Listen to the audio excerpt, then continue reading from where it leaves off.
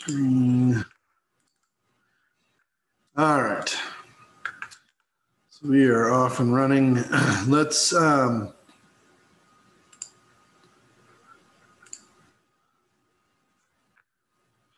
I can go away. Let's take a look at this. Okay, so um, first of all, there was uh, there were a few of you when you were turning in the homework on functions, which is I don't know chapter know, I six or seven or eight or something like that.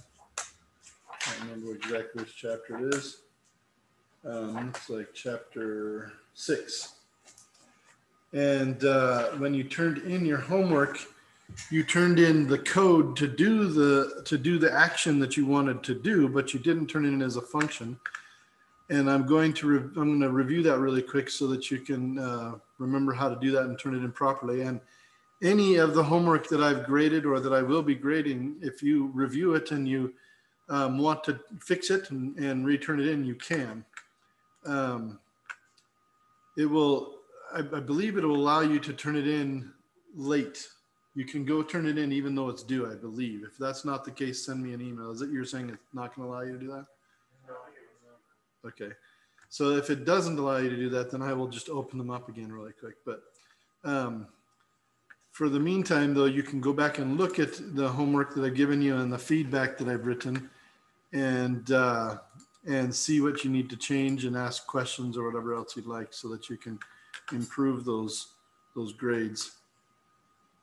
Um, I usually will not give all of the points back, but I usually will give a, a significant number of the points back for reviewed and changed homework so that you will um, so that you will get a, a decent score. Now, um, let's see, why can't I, what am I saying here? I don't know what I'm saying there, that's okay, whatever. Okay, so let's go to MATLAB and let's look at creating a function again, just really quick. When you're creating a function, you go up here to new and you open a function. Now you can do it this way, or you can just start from a new script and write the function yourself. Regardless of what you do, this is the form that your code should take in the script. It should start with the word function. That should be the very first line of code in your script when you're writing a function file. Then you have square brackets, and inside the square brackets, you put your output arguments. Now, if you only have one output argument, you don't have to have the square brackets there. Um, so in other words, if, if you're outputting some kind of uh, some kind of variable with a name to it, then that's what you would put there.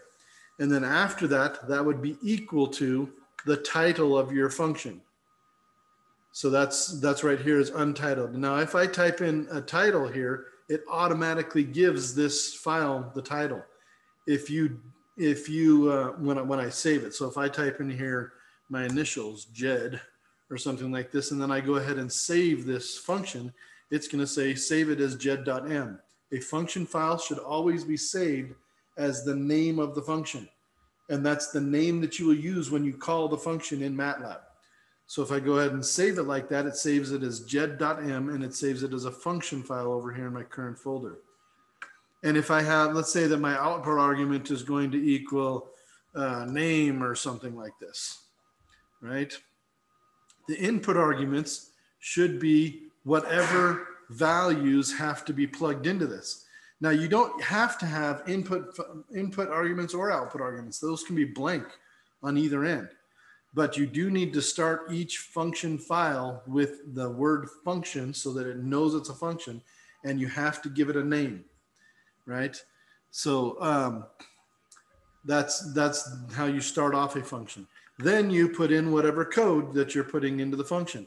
If the, if the function is requiring the user to input some kind of a number, then that should be included in your input argument. So maybe you're requiring them to input a letter or something, and you want to call that thing letter. Let's say that I call it letter. And then I would use that down here in my code. Maybe I take whatever they put in and I put it into a, uh, a string or something, whatever um, whatever you're going to do with it. And that's what you do down here. And then at the end of your function, it should have end. right? So if I go ahead and use one of the functions that has been created, all I have to do is go, all I have to do is drag that function from where, where you inputted it in, in MyOpenMath. I'll just download it and put it into my current folder.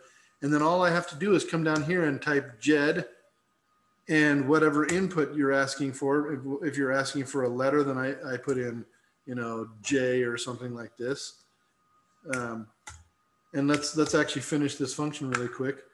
Let's say that um, display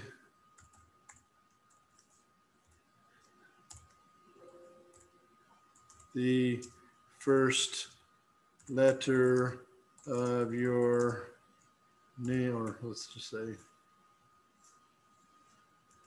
um, let's do an input actually.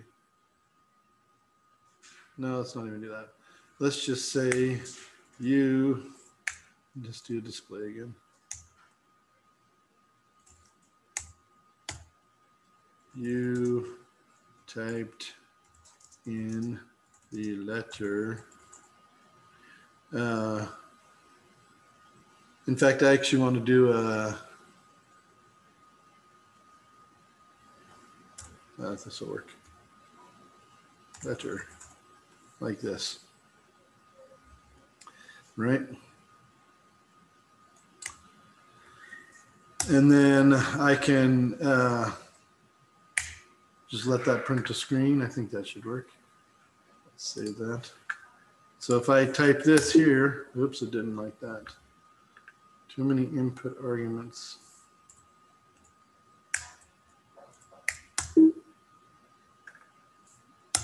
No, it didn't like.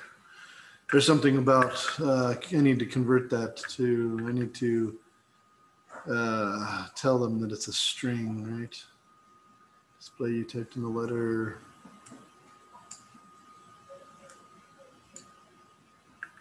Or I need to use fprintf or something like that. Let's use fprintf. Doesn't matter. Whatever you're going to put in your um, um, let's see.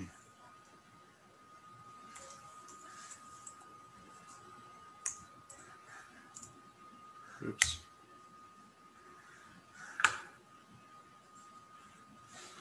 I'm not sure what the code needs to be here because I'm not, because I'm just doing this on the fly. But regardless of what, there we go. And it actually gave me some weird thing here that I did weird, but it doesn't really matter. Oh, because it just needs to be uh, not string, but S, just S like that. There we go. So now I can do this. If I if I actually type in the code, if I if I say uh, JED of J, so it calls this thing, it, it saves J as letter, and then it and then it prints to the screen. You typed in the letter, whatever I put in for the letter, for whatever I put in for letter, right? So it's um, that's a very simple and benign function, does nothing really of interest. But that's the idea here is that your input arguments should show up down here. You could actually also suppress this and, um, well, not, not necessarily suppress it, but you could, because the output is name, you could also uh, um, set this equal to name or something and use name somehow, whatever, because name is the output argument here. But regardless of that, we did, I don't know, maybe 10 different um, examples of that. So make sure that when you're entering in your home, your uh, assignments for, was it chapter six and any other assignments that ask you to build a function, if it specifically says write a function, then I'm going to expect something like this, that I can just pull that file into my, into my current folder and then call it like a function in MATLAB like any other function. Okay, so make sure that you type it in that way. And if you already did it that way, um, it would be it will be obvious from your grades in that in that chapter, I think. Um, but if you didn't do it that way, there will be points taken off for each one that's not done that. So you can go ahead and fix those, and we'll uh, regrade those. Um, do do expect those regradings to take time uh, because um, I and I have to figure out a way to know when the, when you've entered them in again. I know that there's a way to do that in MyOpenMath so that I know that you've re-entered them. But I think what, what should happen is that I think that the best thing to do is if you do go in and re um, re-enter uh, files into an assignment, you should send me an email saying I re-entered files for homework seven, problems, you know, four, five, and six or something, and I will look at that email and I will go regrade those. Because um, otherwise, it's it's really a pain in the neck for me to go through and try to figure out who has who has done something. I know there's a way to do it and or I think there's a way to do it in MyOpenMath. I've never done it before, but I think there is a way, but I don't think I have time to figure it out. And even if I did figure it out, there's no guarantee it would necessarily work the way I thought it would. I think it would since I've never done it before. But anyway, um, so that's that's how it's going to go. If you would like to be regraded on any of your assignments, um, go in and redo the code, resubmit the code, and I will open up the assignments so that you can do that. And then, um, and I'll actually do that right now. I'll reopen those assignments right now so I don't forget. But um,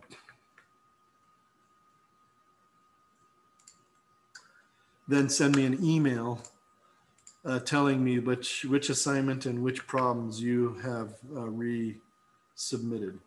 So these are for the programming assignments, and I'm going to change the dates essentially to uh, like May uh, first or something like that, so that you have a few weeks to to kind of review those and take a look at them again.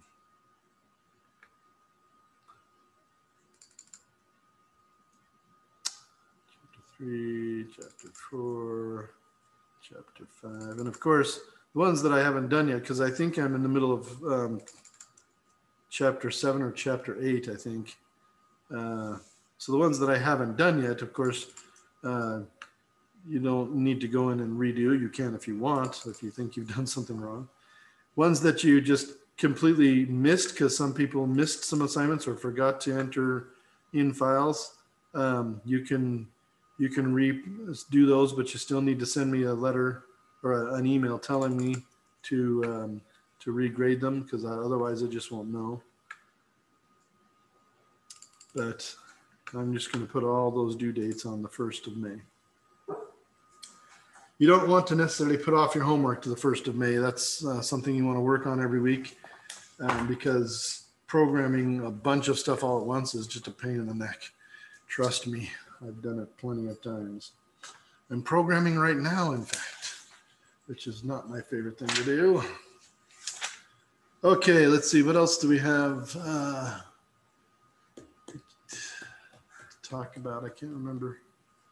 We have uh, still chapter 14 and chapter 15 to to finish up here, and I'm thinking that we'll be finished in the next. Um, week or two so that we will still have a couple of weeks left at the end of the semester to do a project, which is good. Um, but we are starting on, we, we finished uh, section, we finished all the way through section 14.1,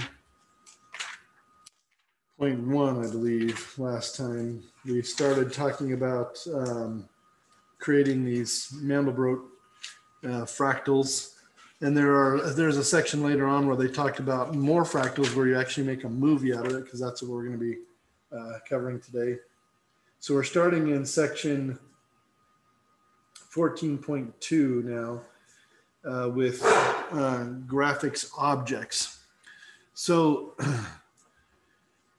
let's see, let's get to my MATLAB again here.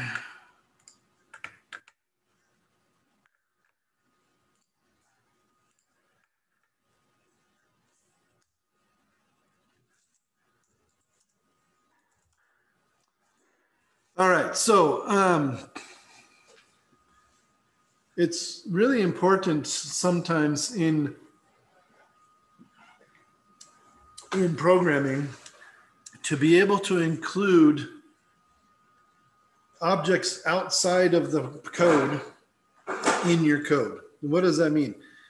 In your folder, you have these things, these files, these whatever you want to call them, M files, um, They could be images, whatever you have over here right now. Right here, I have a PNG image. I have two PNG images and, two M files over here. One of the M files a function M file. One of them's uh, just a just a script file. But there can be all kinds of things over here. There could be data files, all kinds of stuff. And these are all to MATLAB. These are all just things out there. They're just objects, uh, you know, to to be manipulated. They can be read into MATLAB. They can be um, turned into a matrix, whatever. But they're just things that MATLAB uses or can use to do things to or do things with. They're not code. They're not. Um, they're not anything that is inherently a MATLAB recognized thing, but you can you can turn them into things that MATLAB recognizes and MATLAB understands how to treat them. And this is when we start calling these things objects. And so when you create an object in MATLAB, it's it becomes something that you can um, write into the code. You can make it part of the code, and you can start to use um, use some uh, MATLAB functions with it, and and you can start to use um, some of the tools that make it easier, make them easier to manipulate within MATLAB. Uh, for example, when we when we created these inline functions and created function handles for inline functions, that was creating an object out of a function file, essentially. So so that you could use the dot notation we called it before, and it, it simplifies your code. It, it makes it shorter, makes it faster. It's just very useful. And we can do this with graphical objects. We can do this with images. You can do it with videos. You can do it with animations. You can do it with all kinds of things. Excuse me.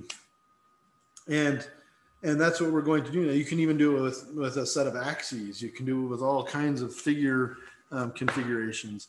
Um, so we're going to go ahead and do that. We're going to first create uh, create an image.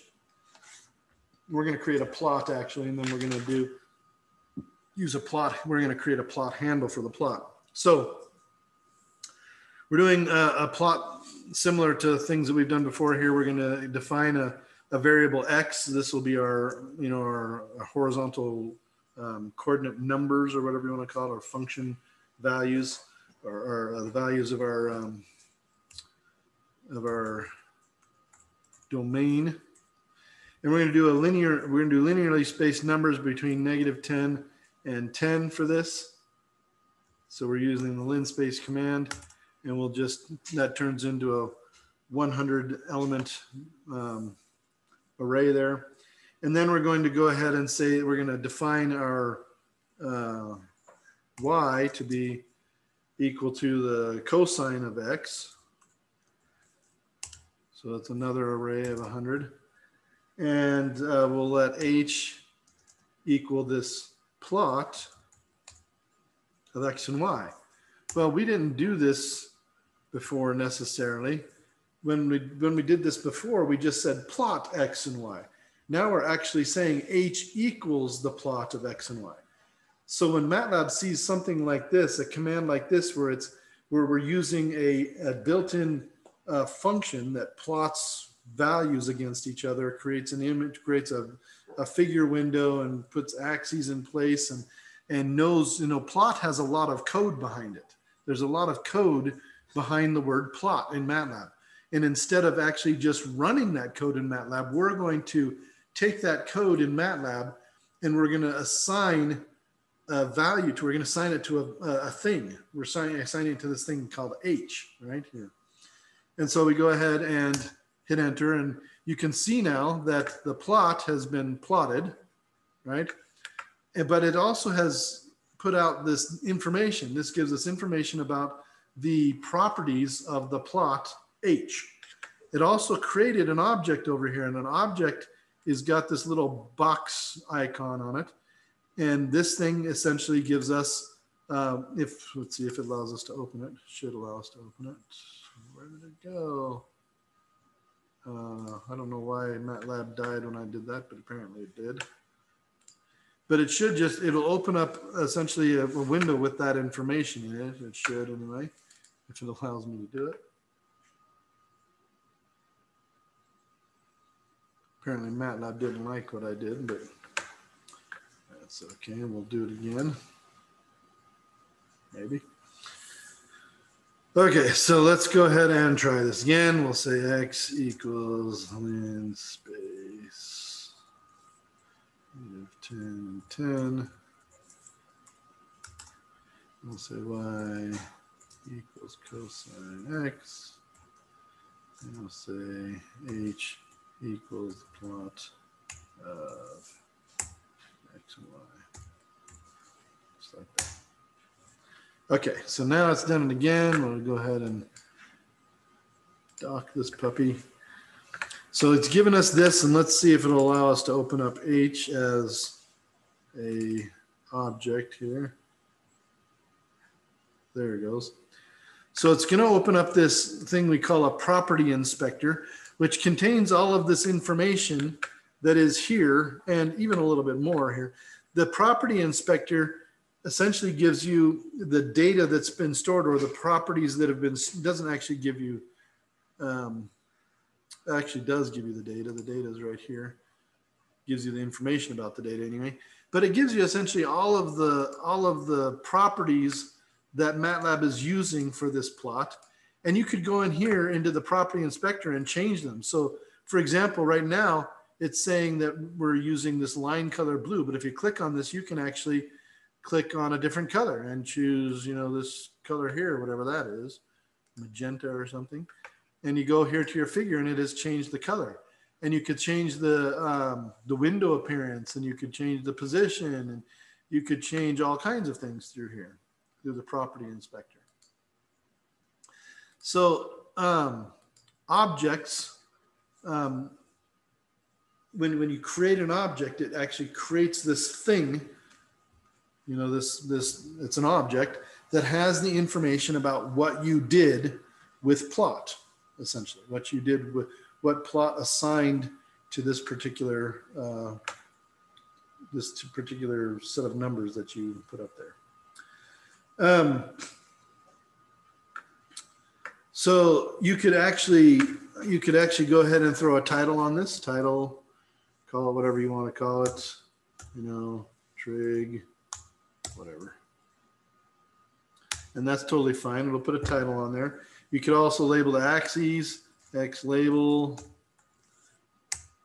and um, you could label X label and the X axis and the Y axis. I'm just going to do one. I'm not going to mess with them both, but um, it labels the axis just like you normally would. And then you can go back here to the property inspector and you can start to look at um, other things here. Let's see if we can find uh, data. Let's see.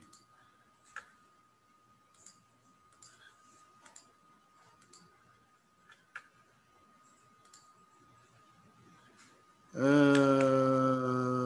trying to remember where they put this in here. It's in here somewhere. I just don't seem to be finding it.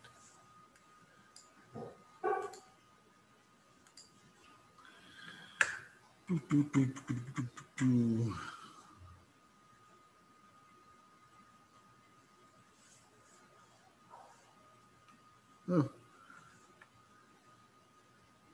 You used to actually be able to change the name on the axis, but I can't see where that is now.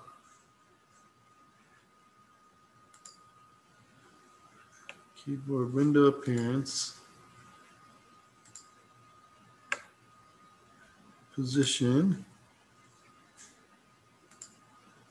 Plotting. Printing. There's a lot of stuff here. Well, identifiers.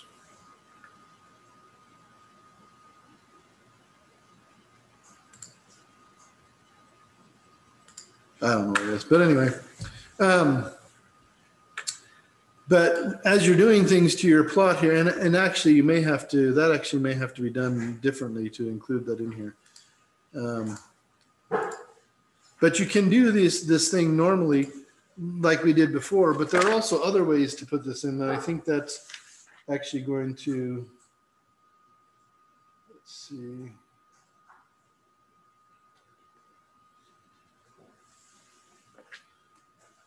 I think there's another way. Yeah, there is another way to do this. So yeah, so let's uh let's just keep going we'll show how that goes.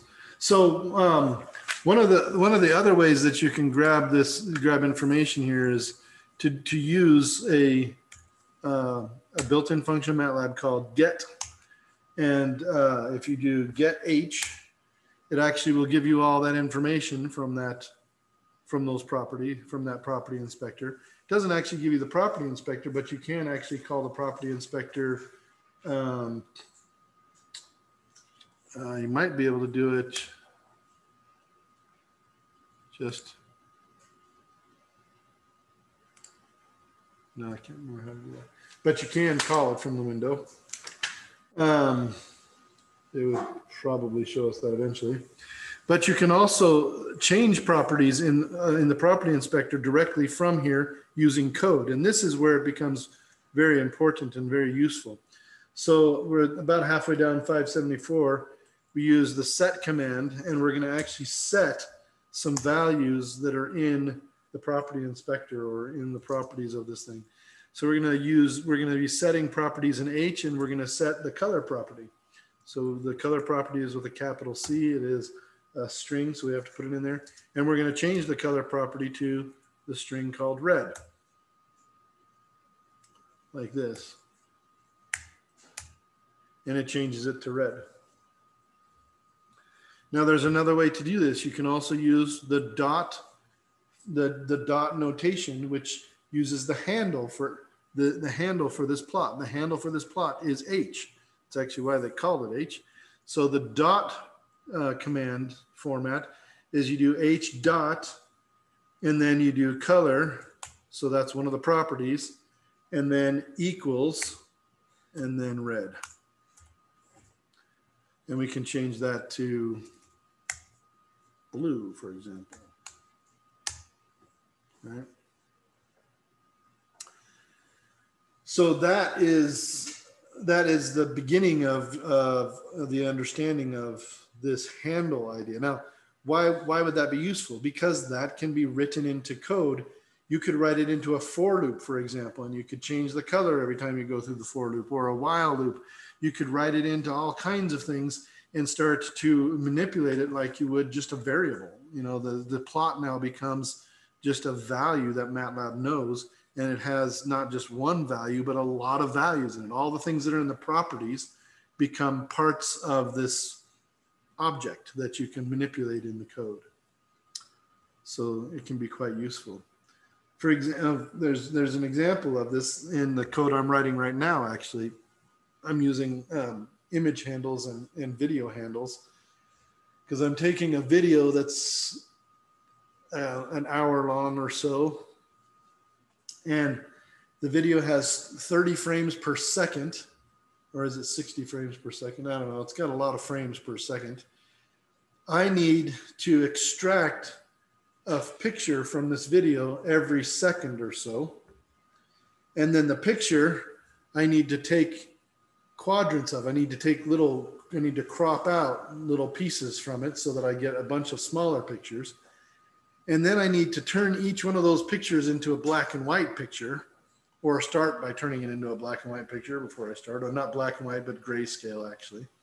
And then I need to I need to pixelize it, which means I take a bunch of pixels and average them together and then replace all those pixels with one big pixel that's the average of all of them.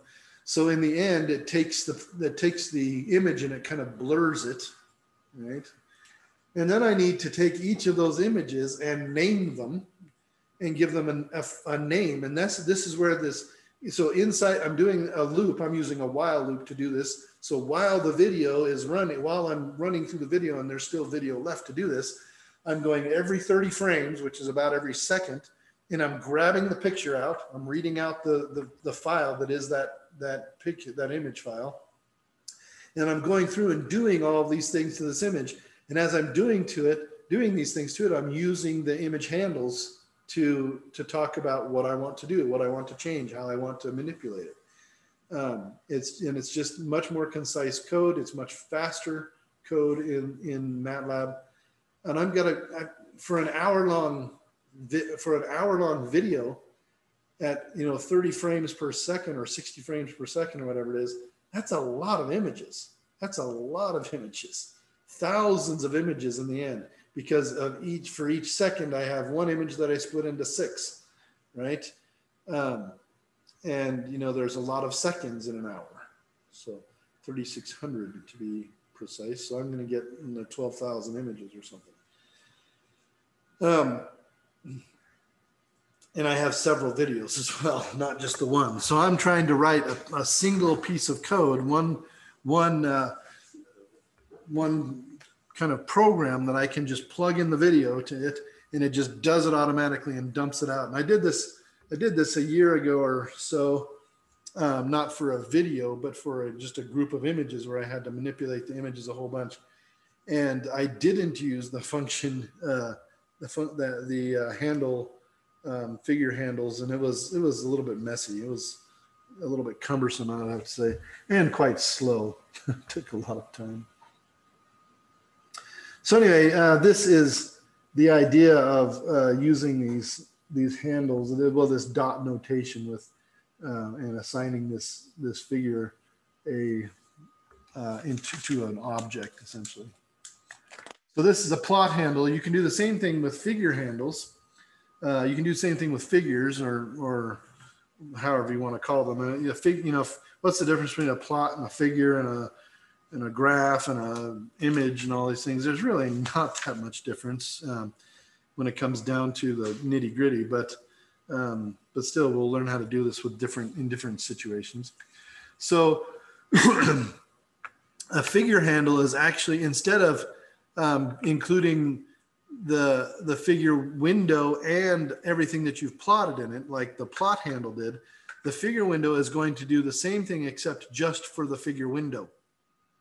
So it's gonna it's going to assign we're essentially assigning a value or a, an object to a figure window and a configuration. And then we can have a configuration that we can modify in our code as well. So if you want, uh, if you're doing, a, if you're, if you're looking at a bunch of images and you want the figure window to, to remain the same for every image, no matter what the image does, if it's a bigger image, smaller image, you know, different aspect ratios or whatever else, then this is a, this is actually a good, uh, good thing to do. And it has a lot of other uses as well. Let's go and see what they're doing here. This is on page 575. Um, so right now, my figure window is, is this figure one figure window. So I'm going to go ahead and just um, call f, f underscore handle. So I'm just assigning it the name f handle.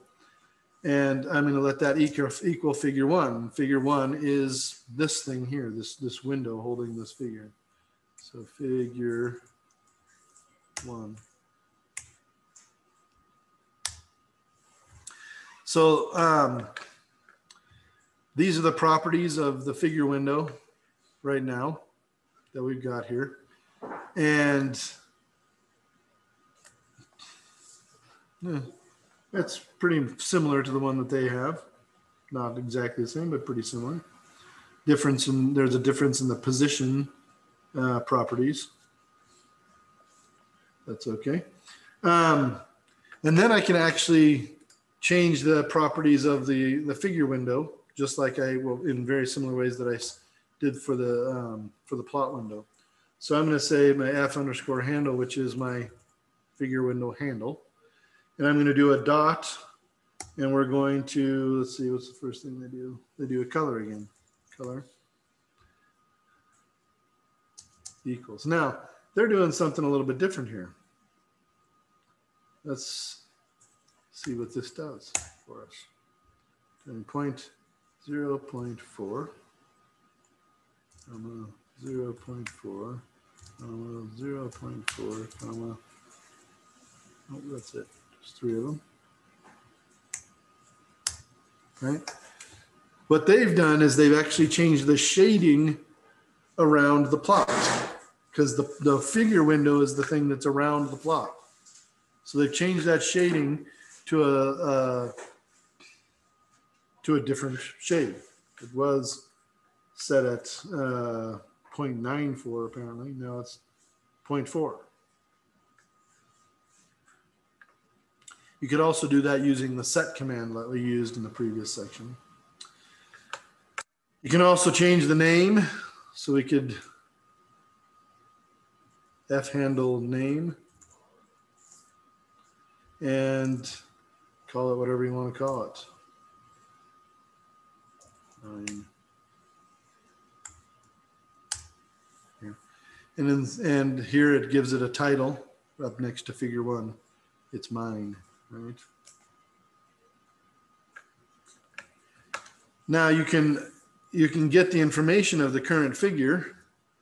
You use get and then you use C, uh, GCF for current uh, get current figure, I guess. And this gives you all of the different properties for this figure window.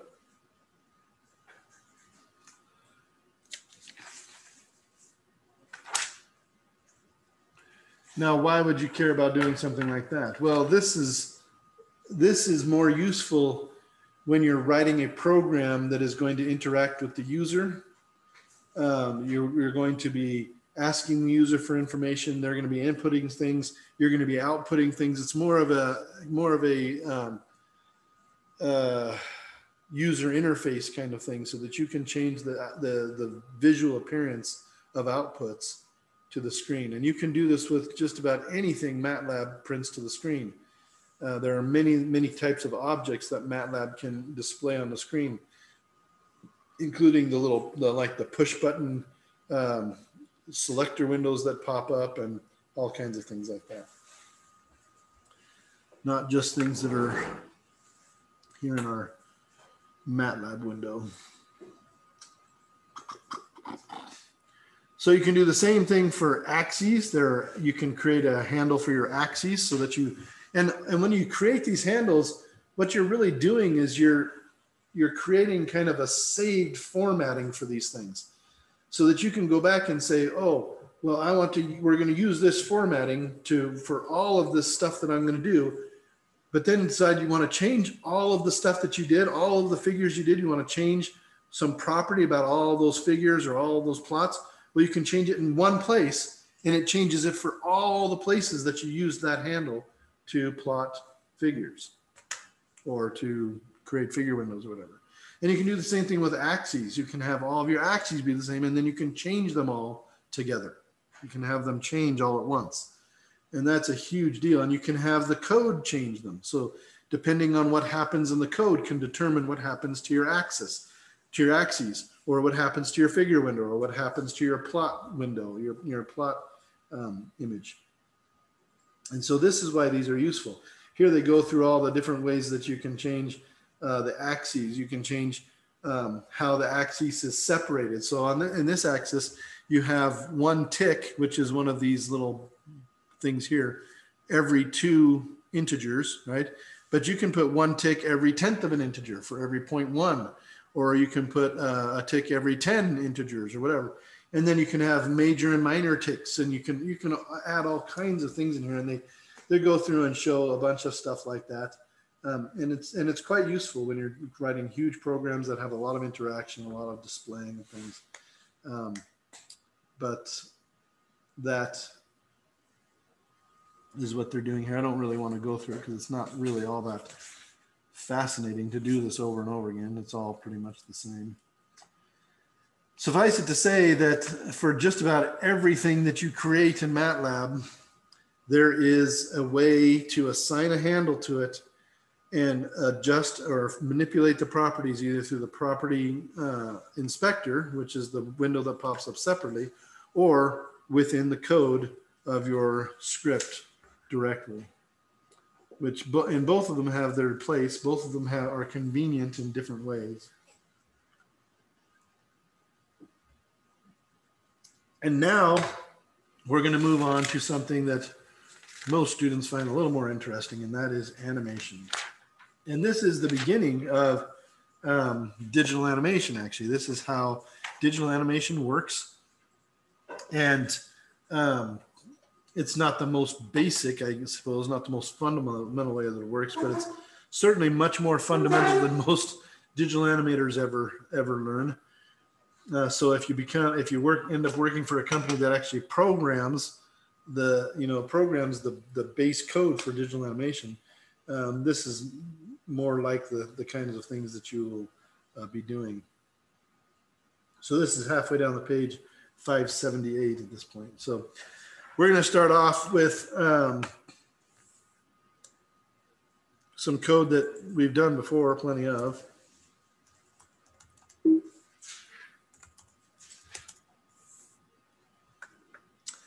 Defining things like X again. Let's see, in this case, it's not an X we've used today yet, so we'll just do a new one. We're just gonna go from X equals negative 10 to 10, looks like.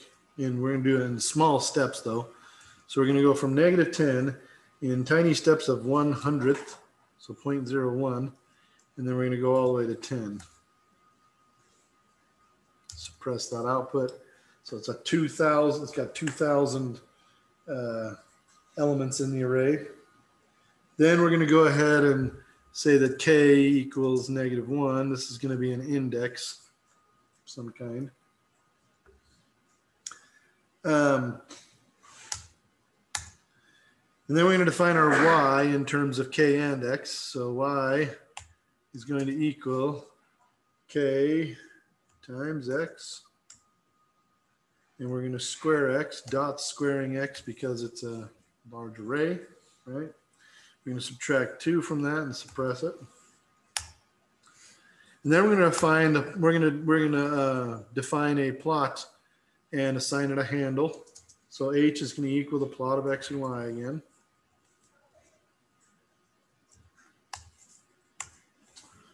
We're going to suppress the output of that so we don't print all the properties to the screen. But it will plot this. Looks, you know, like a hill or something. Right? We're going to go ahead and turn on the grid here so we can see, you know, kind of a grid behind our thing here. There's our grid. We're going to give it some axes. Well, we're going to define the axes more properly said, I suppose. We're going to define from negative 10 to 10 and from negative 100 to 100.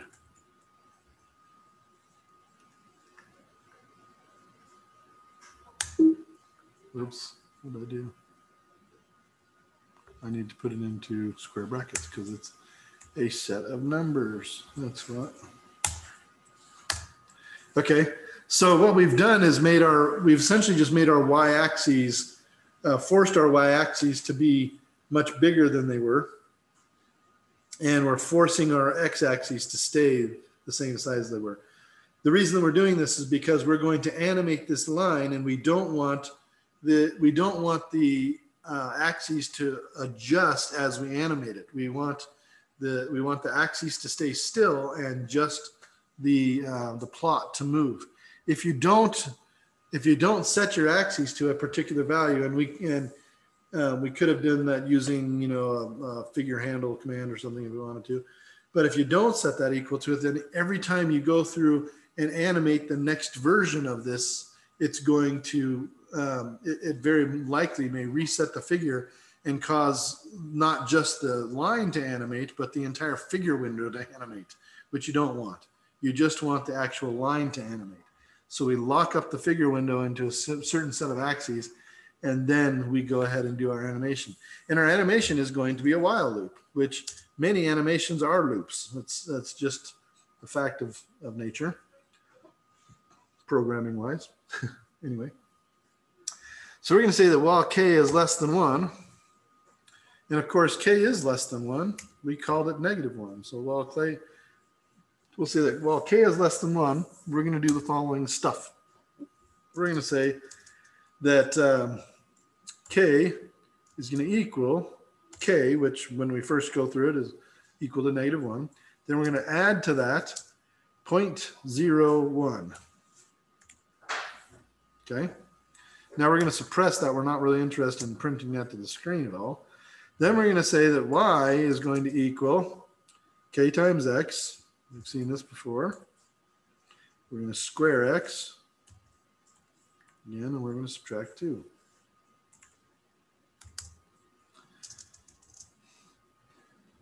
Then we're going to go ahead and plot. So we're going to plot,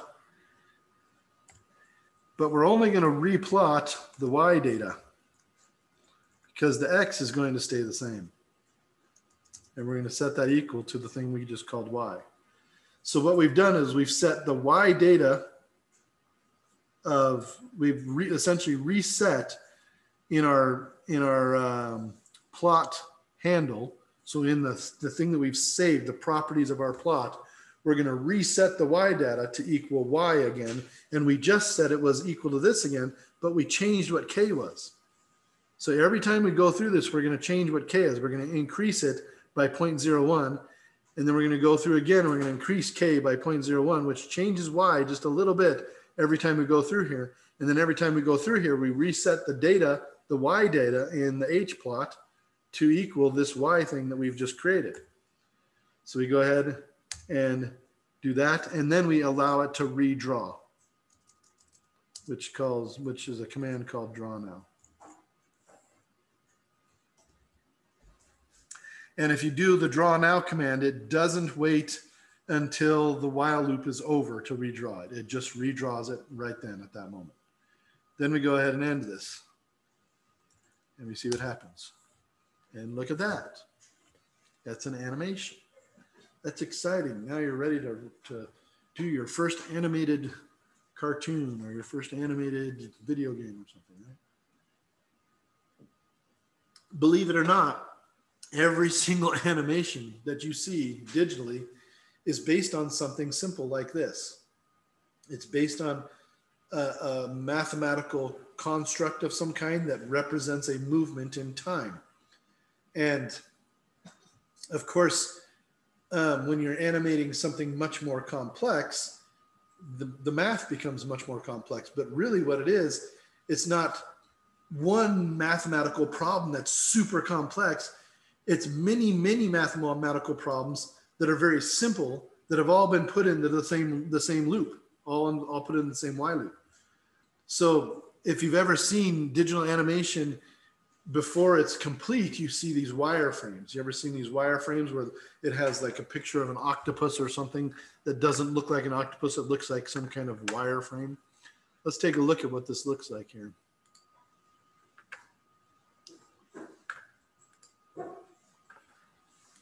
Let's look at uh, octopus, octopus wireframe. So here is uh, animation of an octopus with its wireframe, if it's going to play it maybe.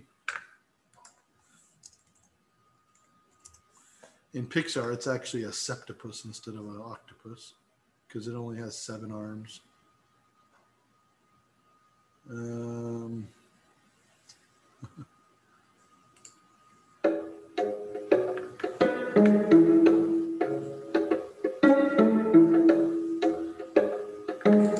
so here they show the wireframe. Let's see if they're going to show it animated. Maybe not. A circle.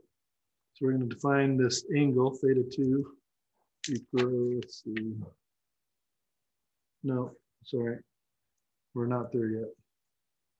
We need to go back to halfway down page 579. We need to start the program before we finish it. Um,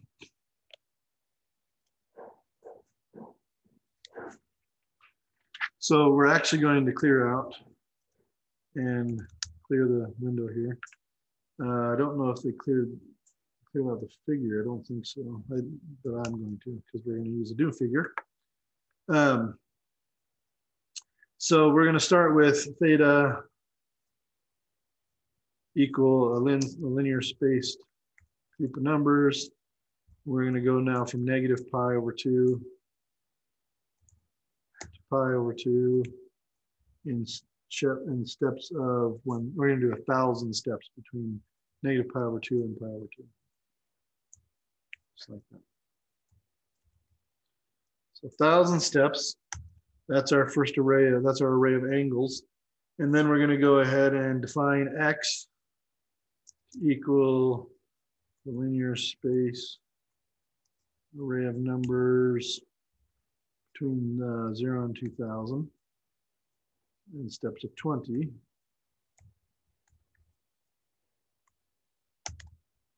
So those are, is that right? Zero and, no, it's 1,000. I did that wrong. We want them to be the same size. So between zero and 1,000 in steps of 20. So now they're the same size. That's correct. And then we're going to define y. y is going to equal 20 times the cosine of theta. Now we have a third array of a thousand numbers.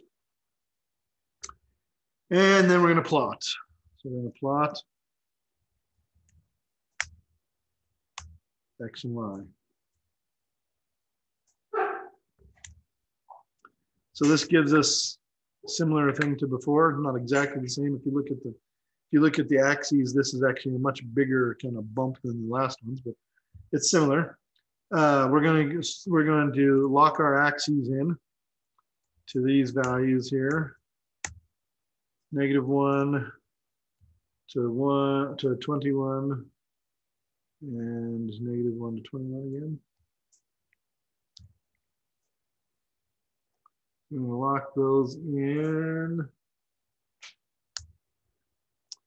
And then we're going to do the hold on. We're going to we're to freeze this onto the onto the figure window for the time being. Then we're going to define our new theta, our theta 2. Now our theta 2 is also going to be a linear uh, a linear space of numbers here. But we're going to go now from, where did we go? going from negative pi to pi. So we're going to take out all this stuff. Just go from negative pi to pi. Like this. And um, we're going to define another set of x's we're going to call xc. And that's going to be equal to the cosine of theta 2. 2 oops, I did this wrong. I needed to define theta 2, not theta. This is theta 2.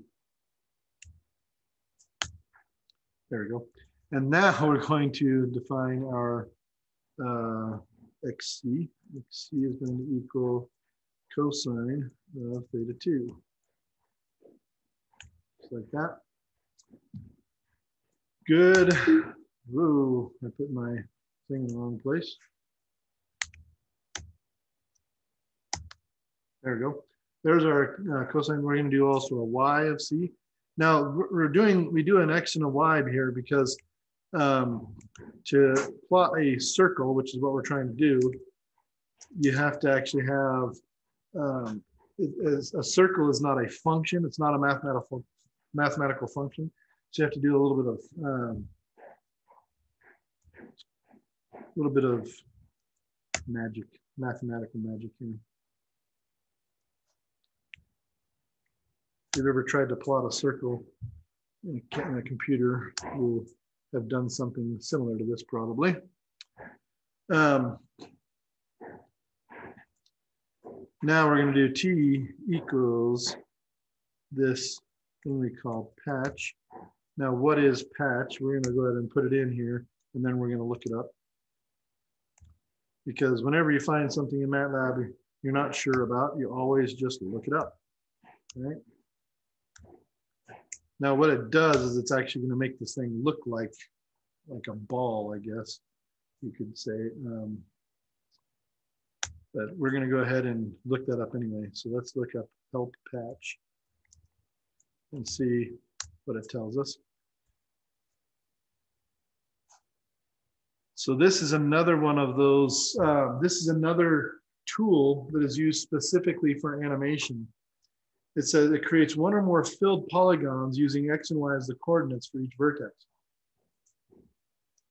Now remember when I mentioned, while we were looking at the octopus, that you have this grid of lines and, and then they fill in between the grid with kind of an average. That's what patch does. Patch does that, um, that rendering between, between the functions, between the animated functions. Now patch is a very simple one. It essentially just fills it in with a color. When, when you use RenderMan to do this, which is Pixar's version of the patch function, RenderMan is a huge, huge program that allows you not to just fill in between the gaps with, with color, but also with shading. And you, and you can actually do that here as well. You can do some shading, but also allows you to do a ton of texture kinds of things. Um, lots of different colors. This, this has limited uh, amounts of color that you can do. Um, but it essentially has taken the two graphs and filled in between. Well, what are the two graphs when we when we when we created this um, this XC and YC, what we were doing is we were creating a top half of the circle and a bottom half of the circle, and then patch plotted those two things with a filling in between. The filling in this case is red. You could change that filling to blue, you could change it to black, whatever you want to. Um, and it hasn't given it any shading, but I believe that you can. Let's see if, if what uh, options we have down here. Polygons, coordinates, 3D view, HLI, similar path um, data, patch faces versus um, structure S. Yeah, so down here in this one, in these last ones here, you can start to put in more more things um, essentially through the through the property um, through the properties um, thing, the properties window that comes up, you can start to, to mess around with that. There are other ways to do it when you assign a handle to it, of course, you can do it as well. But it starts to get fairly complex. It's pretty good for, you know, basic animation and basic CGI, but nothing, nothing compared to what can be done uh, in, I would say Hollywood, but most, most digital animation is not done anywhere near Hollywood. It's mostly done in other places, but in the movies, I should say. All right, so anyway, we've got that now. We've created our little red ball on there. And now we're gonna actually create the animation. So we're gonna create a for loop. We're now going to go to hold off. We don't want, we, we don't want this thing to not uh, be able to move now. So we're gonna turn the hold off and we're going to create our for loop. And this is about half, uh, third of the way down page 380. For j equals, we're going to go from 1 to the length of our, our first theta, which means we actually have to redefine theta. I'm going to redefine the first theta um, properly. So the first theta was equal to, um, well, I can just back up and see what it was equal to. The first theta was equal to this thing here, so I'm just going to redefine that really quick so that it's saved properly over here. And then I'm going to do for um, j equals 1 to the length of theta.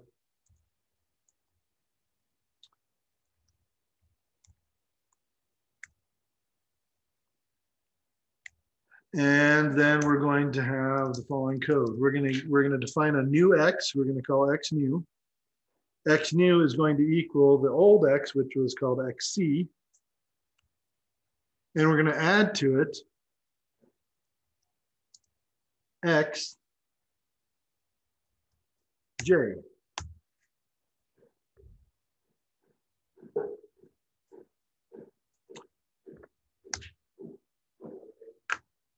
This is page 580, about a third of the way down. So what does that do?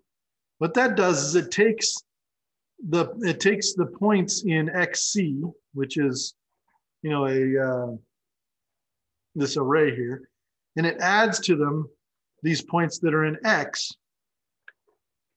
a piece at a time. So it adds the first one in X. So remember that X is this number, if we go back in our code, X is this number that goes from zero to a thousand in steps of 20. So it's gonna, it's gonna step forward every point in this ball 20 things this way, 20 pieces this way. well, it goes from X, sorry, it goes from X to zero to 20 and there's 2000 of them. So it steps it forward. Um, it's going to step it forward one thousandth of a of a step to the right. Every point in here is going to step to the right one thousandth of a step. And then the next, can you guess what the next step's going to be? The next thing's going to be? Well, it's going to be very similar, except instead of stepping it to the right, we're going to step it up, right? So we're going to we're going to step it up. We're going to define a, a y new. Oops, y new is going to equal yc, and we're going to add to each thing in yc a little bit of y. And it, it changes, the step size is going to change as you go through the loop because as you go through the loop, j changes. j is going to increase as it goes through the loop. And so this number is going to increase. So this, so essentially it's going to climb up and up and up and up, and it's going to follow this pattern because uh, XC and YC follow that pattern. All right. So now we're going to use, let's see, did we, yeah. So earlier in our code, when we used the patch command, we had, we, uh, so the patch command is a plotting type command. So we attached this patch plot a handle T.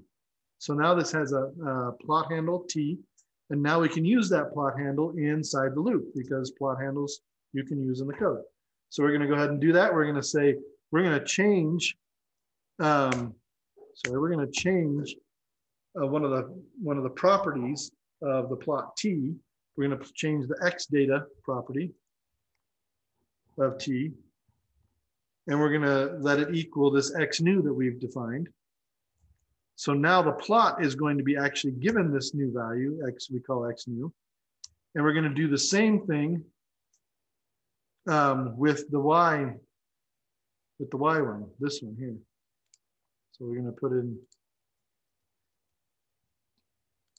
t dot y data equals y new. So now we've actually, we've, so we've added numbers to the arrays. Now we're going to put those new arrays, x new and y new, back into the plot. So we'll actually move, it'll actually change the numbers in the plot. This is, this is changing the numbers using the plot handle for the patch plot that we used earlier. Then the last thing to do is to draw it out again. To draw it again into the in the middle of the loop and then to end our loop. And if we've done this correctly, the ball should animate and it should follow the plot because we essentially or what, what we're doing here is we're reanimating or re, we're redrawing that ball 2,000 times or 1,000 times or whatever it is. It's a lot of times, however many steps we took um, in X and Y when we first defined X and Y. When we first defined X and Y, we defined them as 1,000. There were 1,000 values for X and 1,000 values for Y. And we redraw this ball using the patch command 1,000 times, but every time we redraw it, we shift the numbers that we draw it at slightly. And that's what that for loop does. It shifts the numbers and then it puts those numbers back into the plot handle and then redraws the plot. But we don't have to go through and redefine all the numbers again. We just, for, for each, we don't have to redefine the numbers and plot again. We just redefine the numbers inside the plot handle, inside the defined uh, properties of the plot that we've only done once. And believe it or not, that actually becomes much, much faster from a programming point of view. If we didn't use this, this version, of the, this plot handle version, we would actually have to replot every time. In this one, we're just redrawing. We're not actually going in and using the plot command many, many times. So the plot command has a lot more to it than just redrawing the same plot with some slightly different data. So it makes it much faster and it makes the animation run faster which is really what you want when you want an animation that's believable. When you want an animation that's believable, you want a lot of spatial detail. So you want your pixels to be very small, but you also want a lot of temporal detail, which means you want your time stamps to be very small. And that's what we've done here in both ways. This allowed us to, the, the number of steps we broke this down into gave us our spatial resolution. And the number of times we go through this loop gives us our temporal resolution. So there is an animation. All right, what time is it? Almost 2.30. Let's take a little bit of a break and we'll come back and do the moves section on movies and some others, some other techniques at the end here. Um, and then we'll be done. Sound good? We'll take a break for about five minutes or so.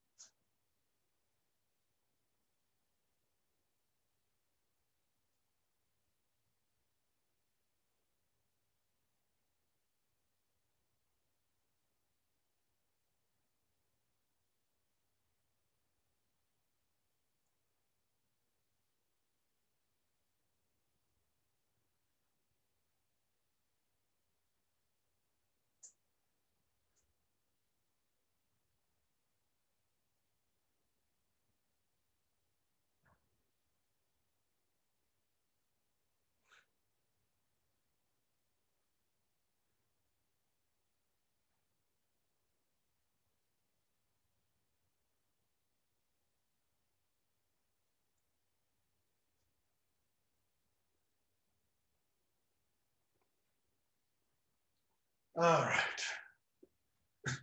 Whew.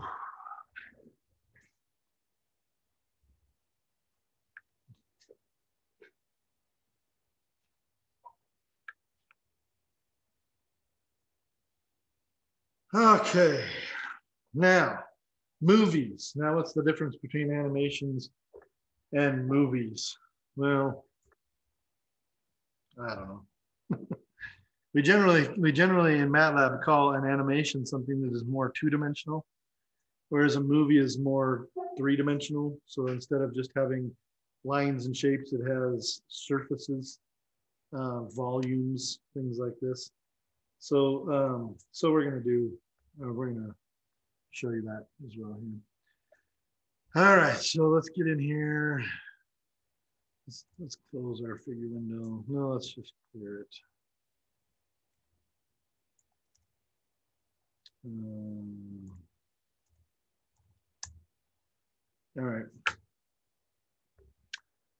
Okay, so we're going to define our x again. X is going to equal uh, 0 to pi. So we're doing kind of an angle thing again here, pi over 100 to 4 pi.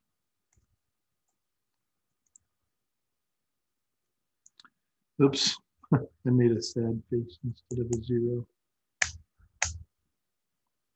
I think that's a sad face. Isn't that a sad face when you put the, I don't know. I'm terrible with emojis and text speak. I don't hardly ever use texting in my life. Then y is going to equal uh, x. So we have two of these things. These both of these arrays have the same uh, the same values in the same size and everything. And then we're going, and there's a typo here, but here we're going to use the mesh grid function to define two new variables, big X and big Y. And this is going to allow us to have this, uh, to, to have this surface kind of thing going on. So a big X and big Y is going to equal mesh grid of X and Y. If you don't remember what mesh grid does, just open up big X and big Y when you're done making the mesh grid and look at it.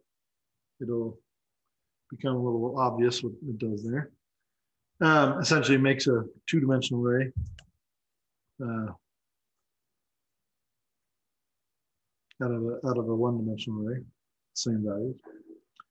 And then uh, z is going to equal now three times the sine of big X, everything in big X, three times the sine of that, plus cosine of big Y.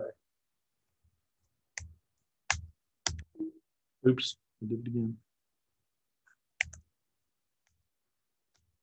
Okay. Now we're going to assign a handle, H, to this surface plot of X, Y, and Z.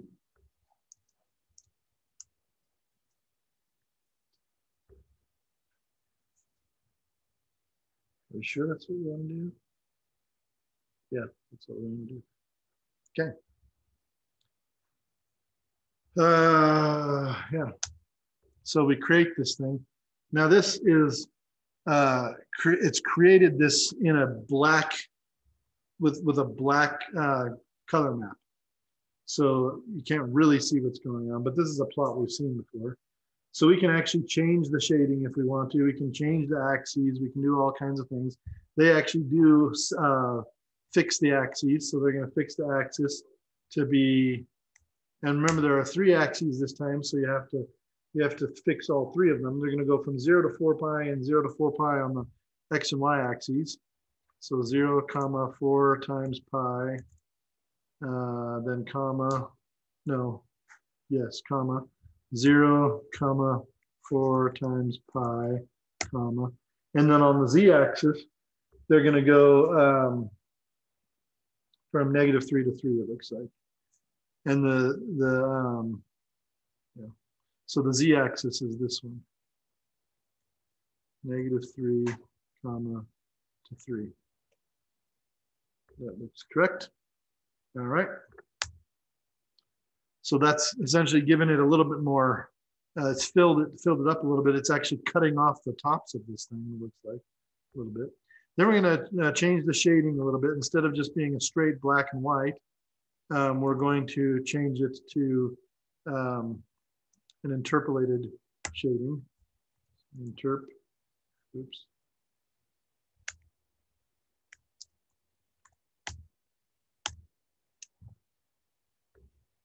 And we're going to change the color map as well to a jet color map. a little more blue, I think, maybe. No, a little more red, actually. Um, and then we're going to do a for loop that's going to animate this surface or make a movie out of this surface, essentially. So 4k equals uh, 0 pi 0 to 2 pi in steps of pi over 100. So we're going to go in steps of pi divided by 100, and we're going to go all the way to 2 pi.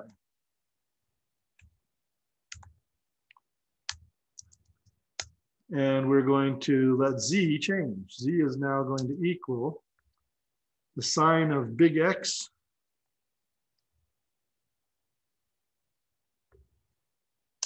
plus the cosine of big Y which is what it was before. Remember, that's what uh, that's what uh, well was kind of that.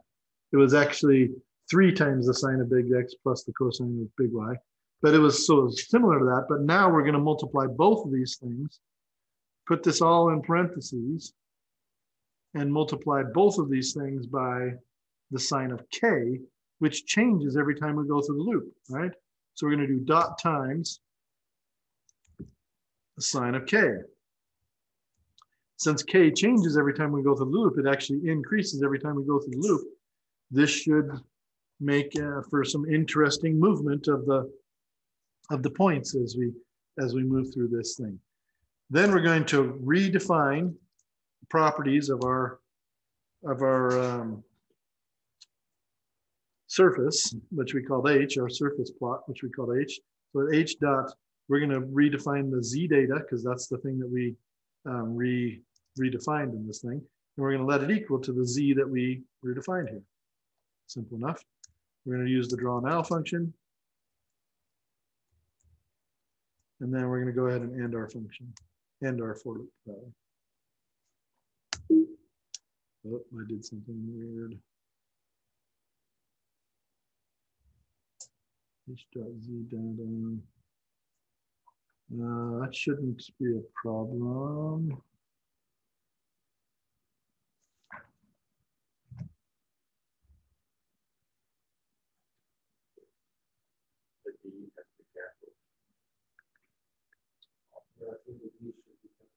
The D should be capitalized. Well, that sucks. Let's see here.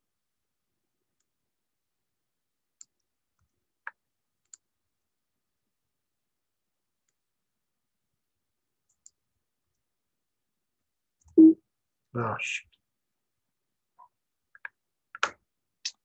No, I didn't mean that.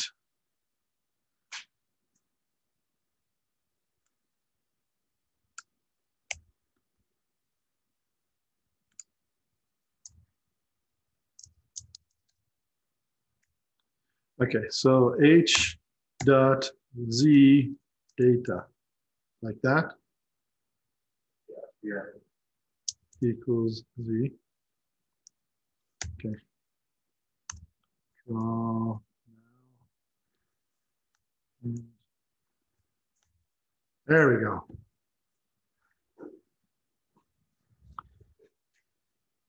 So as we're going through this, we essentially have a we have a sine function going one way, a cosine function going another way. And that's what gives us those wavy bumps.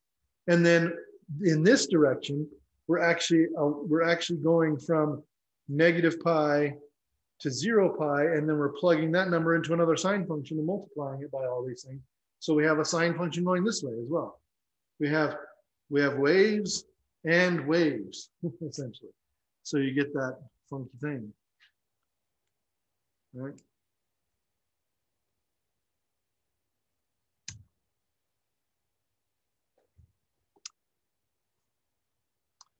And you can do all kinds of things with this. You have a lot of options um, when you're doing something like this. You could do, instead of the sine of, uh, of well, you can't actually change it when, when you've already run it. But um, let's say that I, I want to change what's going on here. So I'm gonna just do a different for loop. So I'm gonna paste this down here. And instead of going from uh, here, I'm gonna go from I'm going to do it. In, I'm going to do it in shorter and in bigger steps first of all, and I'm going to go um, to maybe seven pi or something. I'm going to change that slightly. And then on my next line, when I redefine z, I'm going to redefine z in a very different way. copy that line. I'm going to put it down here.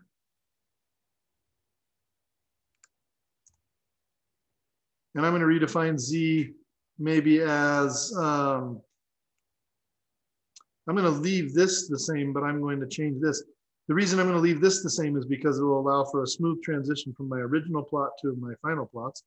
But this over here can be something uh, different. I'm going to call it the natural log of k or something like that. Um, sure, why not? Actually, let's do one. Uh, let's do the tangent. Okay, why not? That should get weird. and then I'm going to go ahead and redefine the properties in my handle. And then I'm going to draw it now. And then I'm going to go ahead and end it and see what happens. So this, this does two two very interesting things. It moves very much faster and it also gets much bigger. And you can see that it doesn't just get much bigger smoothly, it gets much bigger and then stops. Why does it get much bigger and stops? Because the tangent looks like a function that goes, it starts off at zero and then it gets rapidly huge to infinity. And then it goes actually to negative infinity and rapidly gets to zero again. So it jumps, it has a jump in it, it's not continuous. The sine function is continuous. This one's not continuous. And you see that. You see, go boom, boom, boom, boom, because that's what the tangent function does. Let's see what happens if I do this with and and um let's actually let's actually change some other things and see what we can do. So let's copy this, put this down here, paste, copy this. Let's see if we can um,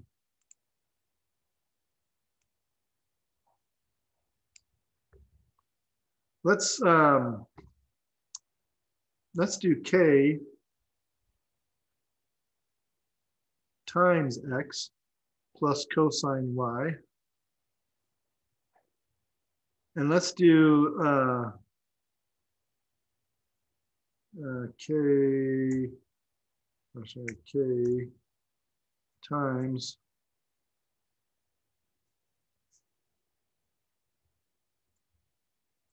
let's do times 2 to the k.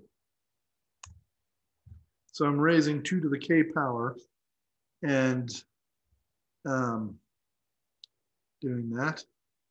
Then we'll do this line. Again. And then we'll, end, we'll draw now. And we'll end it.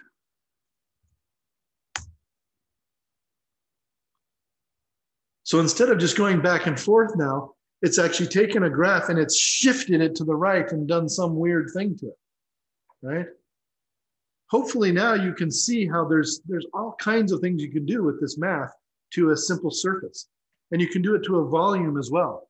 And that's where you start to get to animation that starts to make sense. If you can make a volume that's shaped like LeBron James, for example, and then you can write a mathematical function that allows him to extend the arm out this way, like he's doing a right-handed layup, and then have his right leg come off the ground like he would be doing with a right right-hand layup. This is essentially very at a very fundamental and simplistic level how digital animation works.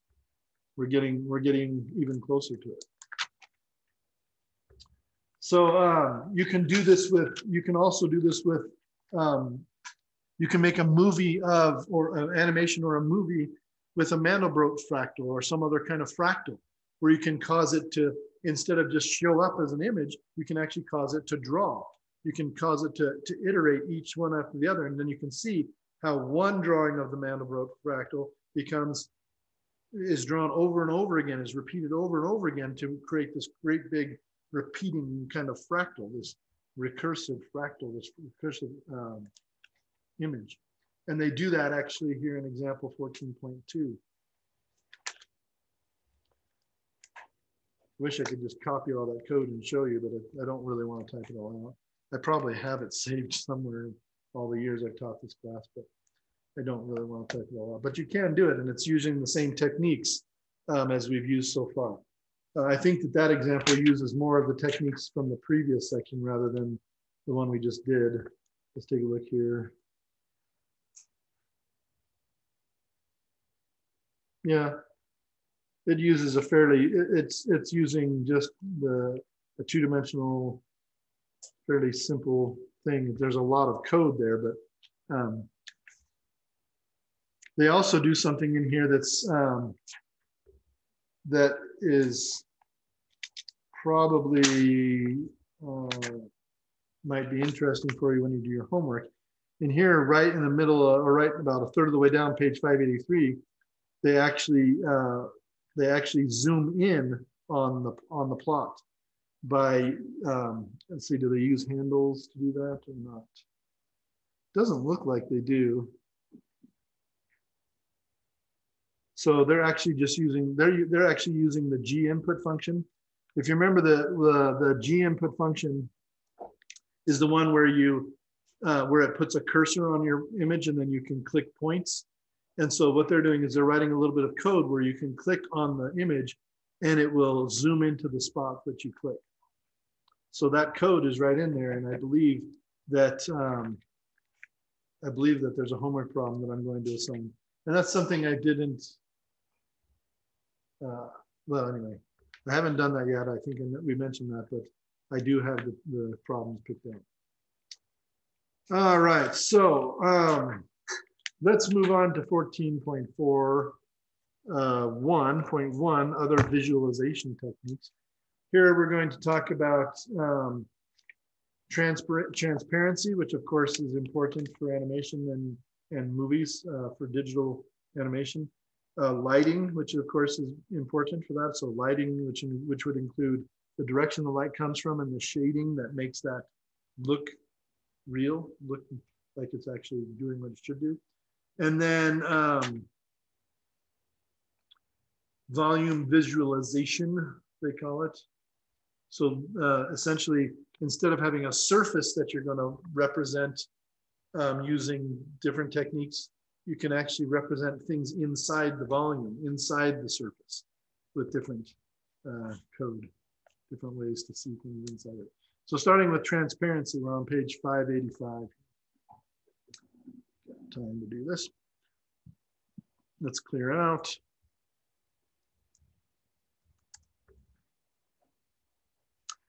All right, so we're going to start off by defining this uh, n equals 20, which is going to be an index. then we're going to define theta, capital theta, is going to be linearly spaced numbers between negative pi and pi. Um, and there's going to be 20 of them. Negative pi and pi and 20 numbers. Um, but we're going to use n instead of 20, so we can change n later if we want to. This is a this is a trick that we've seen a few times in in uh, this class, where instead of instead of rewriting n inside the code inside the the linspace command, you define n here at the beginning, and then you all you have to do is redefine n at the beginning of your code if you're going to use it over and over again. And we are going to use it I believe, more than once here, so it's good to have it defined here. Yeah, we are using at least twice. Um, it looks like. So if you're, if you're using a number many times over and over again, you might as well define it once. And then if you need to change it later, you can redefine it. That's especially important when you're doing uh, things that, um, well, the, like the example, that, like the thing that I'm doing, I talked about earlier, where I'm, I have a video that I'm extracting images from. I don't know actually how many seconds are in each video. I don't want to go and look it up. What I want to do is I just want MATLAB to take an image out every second until, until the video's over. And so I don't want to redefine the number of things in it. I just define this number at the beginning and and then if I, I, I don't have to read, I don't have to redefine it in a, in every point of the code. I just refine, define it at the beginning. And I, and in my code, I can actually make MATLAB define it because if I assign a handle to my video, then I can have MATLAB look up the properties in the handle, look up the in the property inspector, and it can actually assign n to equal one of the properties inside whatever I've assigned the handle to, whatever I assigned the image handle to. So it's, it's a very useful tool, that, that handle idea and uh, assigning values at the beginning of your code. Anyway, just something we've seen before and I wanted to point out. We're gonna go ahead and suppress that. Uh, we'll also define phi, capital phi, another Greek letter. And that will be linspace, um, let's see, negative pi over 2 to pi over 2 with number n. So pi over 2 pi over 2 and.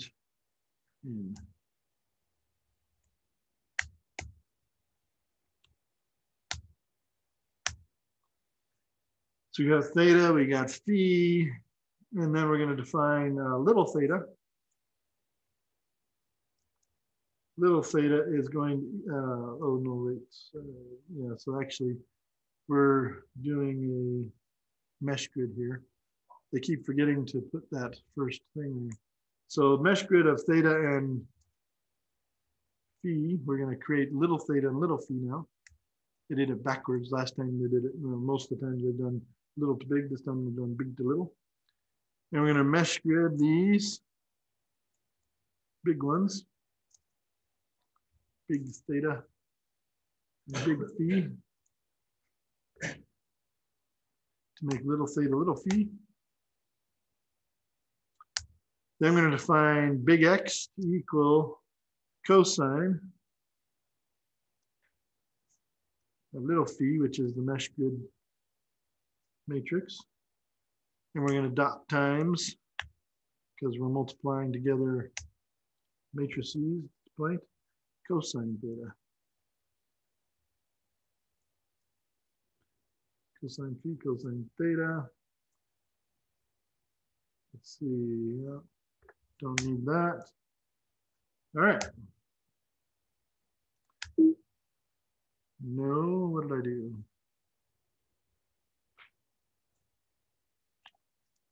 X cosine phi times dot times cosine theta. Did I?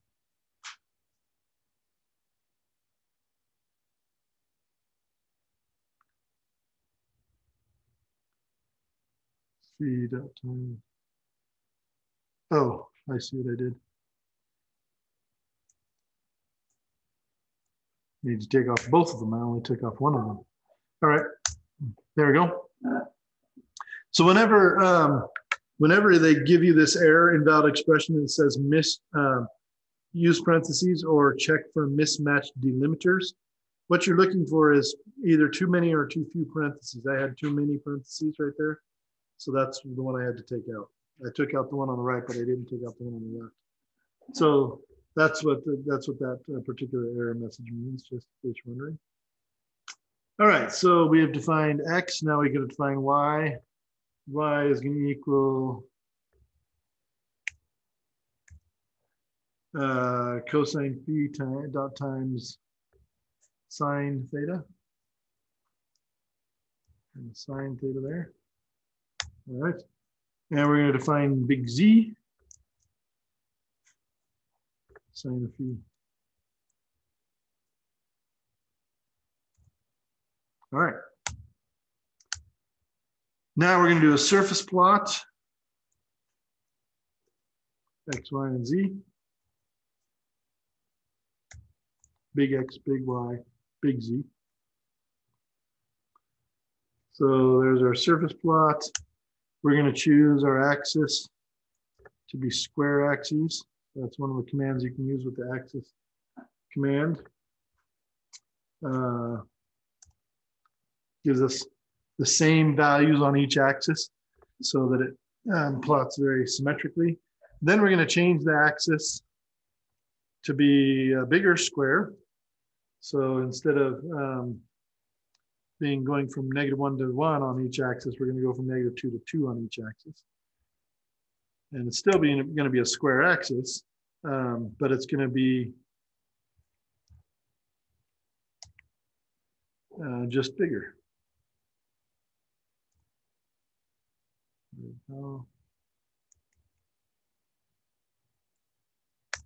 So that our sphere appears smaller. Okay, now we're going to hold that figure in place for a bit. And they want us to put in a two second pause.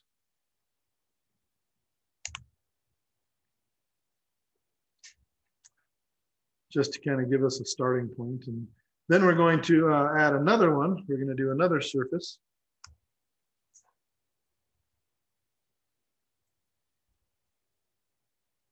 Now, actually, I should have written this all in I'm going to copy this all into a script file when we're done so we can run it later. That's okay. Here we go. Now we're going to do a surface, uh, another surface block. And this is actually going to be the same one as before, except multiplied by two. So it's just a bigger, a bigger one. So two times x, two times y, two times z. And we'll pause for two seconds. And then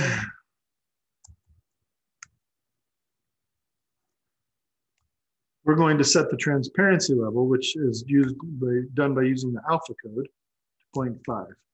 Alpha is the, the um, assignment for the transparency in the uh, properties of the surface plot. And so now you can see through the spheres slightly. It's half halfway transparency. Alpha one, I think, is fully non-transparent, I think. Let's check that. Alpha one, yeah, so it's non-transparent. And then alpha zero is fully transparent. All you see is the all you see is the wire grid. All right, so we're going to take all this code and run it.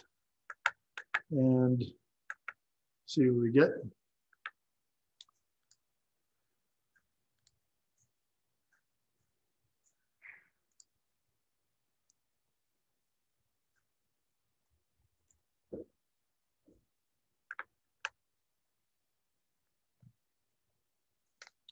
Okay, pretty simple. Just three things going on there. Now we're going to go ahead and clear our figure down here. We're going to assign a handle to each of these surface plots. So the first one we're going to call H1 equals surf XYZ. And then the second one is going to be called H2.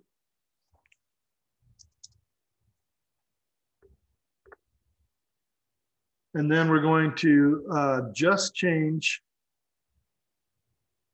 the surface of the second one. So I'm going to take out this pause here. And I'm just going to change this one. So it's going to be H. Uh, I'm going to I'm going to actually use the the um, handle for H2. So I'm going to do H2 dot, and you can use face alpha, face uppercase alpha. And we're going to let that equal point three here. And now we're going to run it.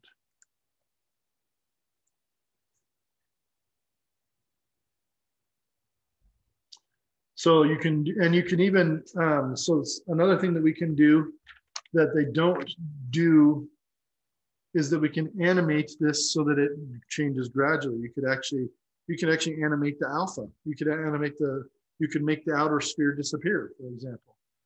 Um, you can even you can even make the lines, the, the grid lines of the, the surface disappear.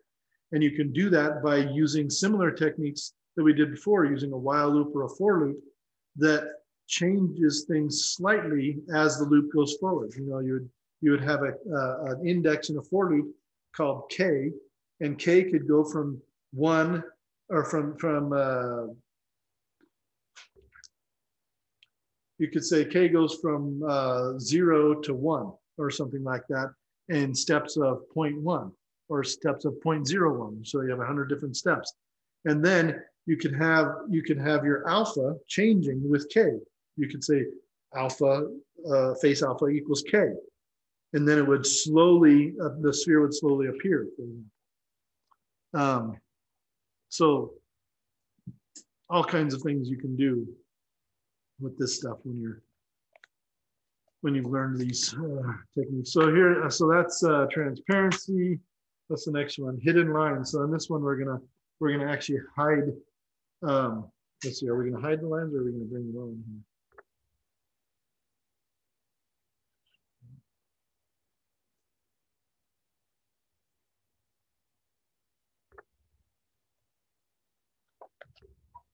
Oh, yeah.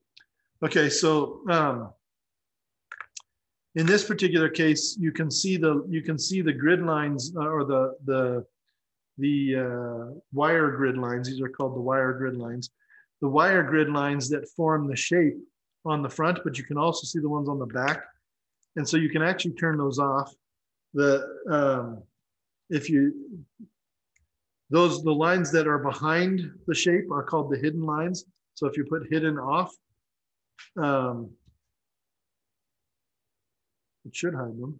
Oh, actually, we need to do it um, right after we plot it.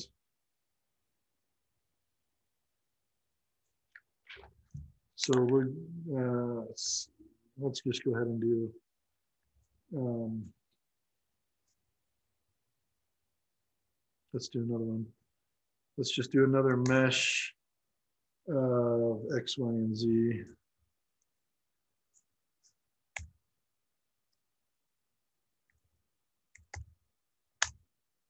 There we go.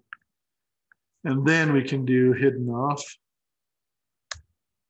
And you can see on that inside sphere, it's it's uh, taken off, it's turned off these lines here. Um,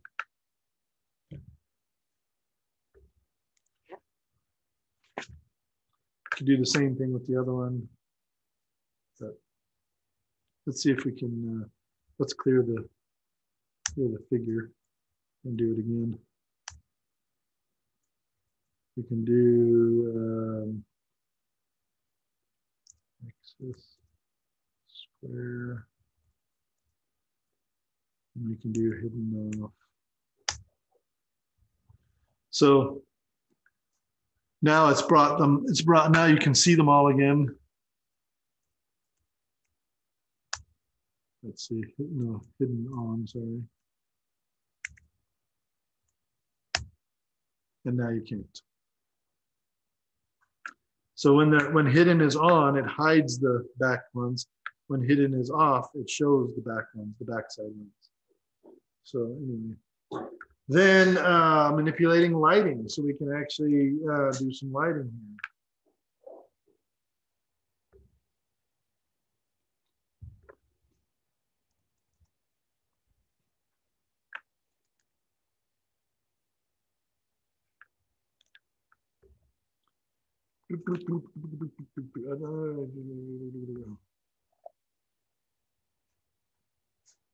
here. Oh, actually, um, sorry. I made a mistake because I created this file called sphere, so I need to actually delete it or rename it maybe called sphere one. Sphere one. Because then I can't do this clear. Sphere There we go. So in MATLAB, you can actually just call up a sphere like this if you want to. And then you can actually give it some lighting on the surface of it. So we're using this, this cam light feature, which makes it which makes it look like there's a light coming from here. So it looks like there's a little reflection right there. Um, and we can actually make one that's much higher resolution if we wanted to, a sphere, and then it would look more realistic. But the cam light, the, it's essentially the camera light, the light on the camera. Um, you can choose to where you want it to be. So you can do cam light left, and that changes it, changes the, the lighting more to the left. You can do cam light headlight. Uh, I don't even know all the ones you can do. There's, I think, quite a few different lighting options. So left, right, headlight. Um, then you can actually um, then you can actually choose where it is. You can actually decide exactly where you want it to come by choosing an azimuth and an elevation. So an azimuth is essentially your your direction, uh, your angle from the from the sphere in this plane, the floor plane here, or the XY plane. So this is the XY plane. So if you choose an angle um, from the x-axis towards the y-axis, which would be, I believe, this direction. If you choose 90 degrees, um, which is pi over 2, then your light would come from this direction. And then your elevation is um, up or down. So you up pi over 2 takes you to here, down pi over 2 takes you to here. And let's actually do that really quick, see if we can um, see if that is going to work out for us. We're going to do cam light and we're going to choose our, our azimuth first so I'm going to choose pi over 2 and try to get the light to come um, from this direction. Actually, let's try to get it come from this direction, which would be pi over 4. So let's do pi over 4. Um, and then I want to do, I want it to come from uh, down, I want the light to shine down here now. So that'll be negative pi over 4. I think, and let's see if see if I got it right. See if I got the directions right. Yeah, so it's brought the light further down here.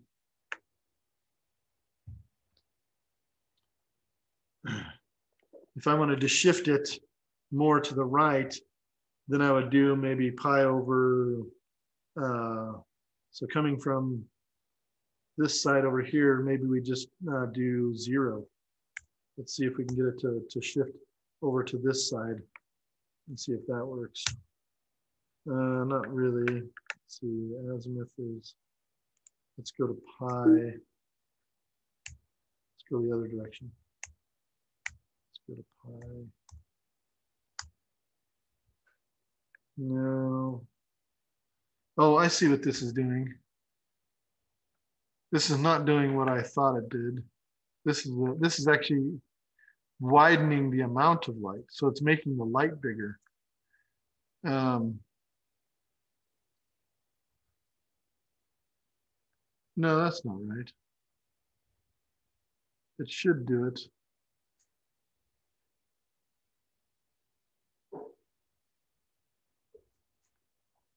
Oh, I see what I did. Uh, cam light azimuth elevation. Cam light axis. Let's do, let's go back to another one. Anyway, the point is, I, I'm not sure exactly how all these work apparently. If I go back to uh, cam light left, for example, it just, oh, I see what it's doing. It's just keeping all those lights. Let's uh, do hold off and then do cam light left. Oh, it's still just adding more lights. so I'm just adding more lights apparently, but um,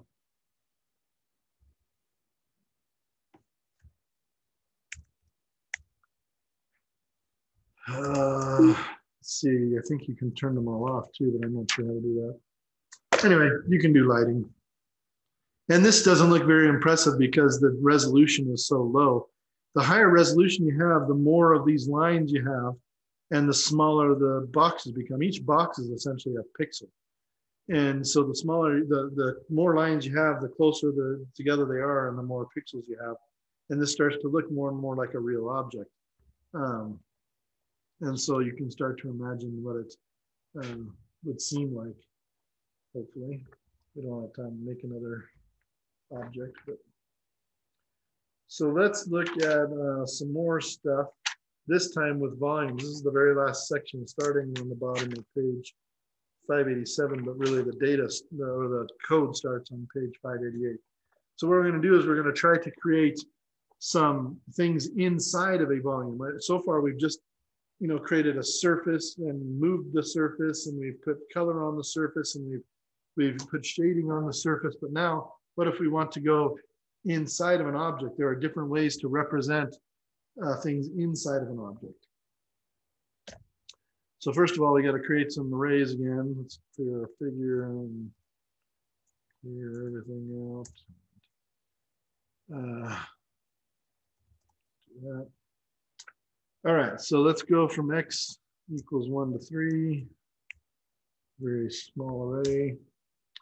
And then y we're going to define as three, uh, four numbers, two, four, six, and eight.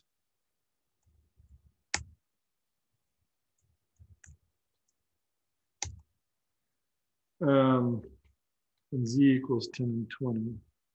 Now this is something that I mentioned at some point. Um, I don't remember when, but I mentioned this at some point that you can use MeshGrid to um, combine things of different, combine matrices of different sizes and to use them uh, so that you can use them together. So here we have three different matrices, one that's a one by three, one that's a one by four, one that's a one by two. And now we're going to use the MeshGrid function to do to to combine them in such a way into two into um, two by two matrices that um, two dimensional matrices that can we can do math with essentially. So we're going to call these three new matrices x, y, and z. And we're going to use the MeshGrid function. Remember, the MeshGrid function looks at all the things that you're using in it and creates these new matrices, these two, there two matrices that you can do math with. I do X, Y, and Z inside there. We're going to create big X, Y, and Z. And then we're going to go ahead and uh,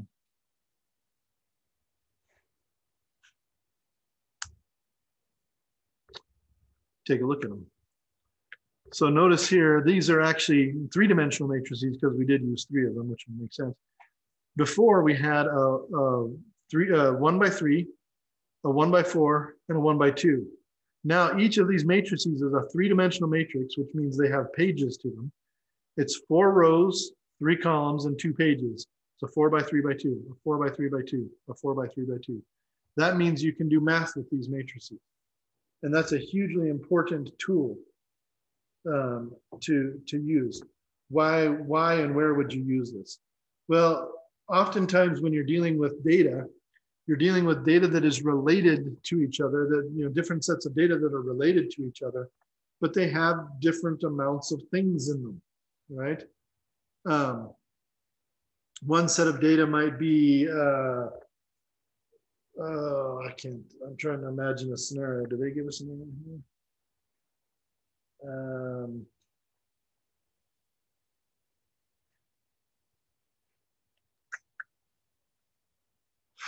Uh, one of them might contain, so they're, they're talking about uh, MRI and flow field data, I suppose, which they, yeah, I don't know.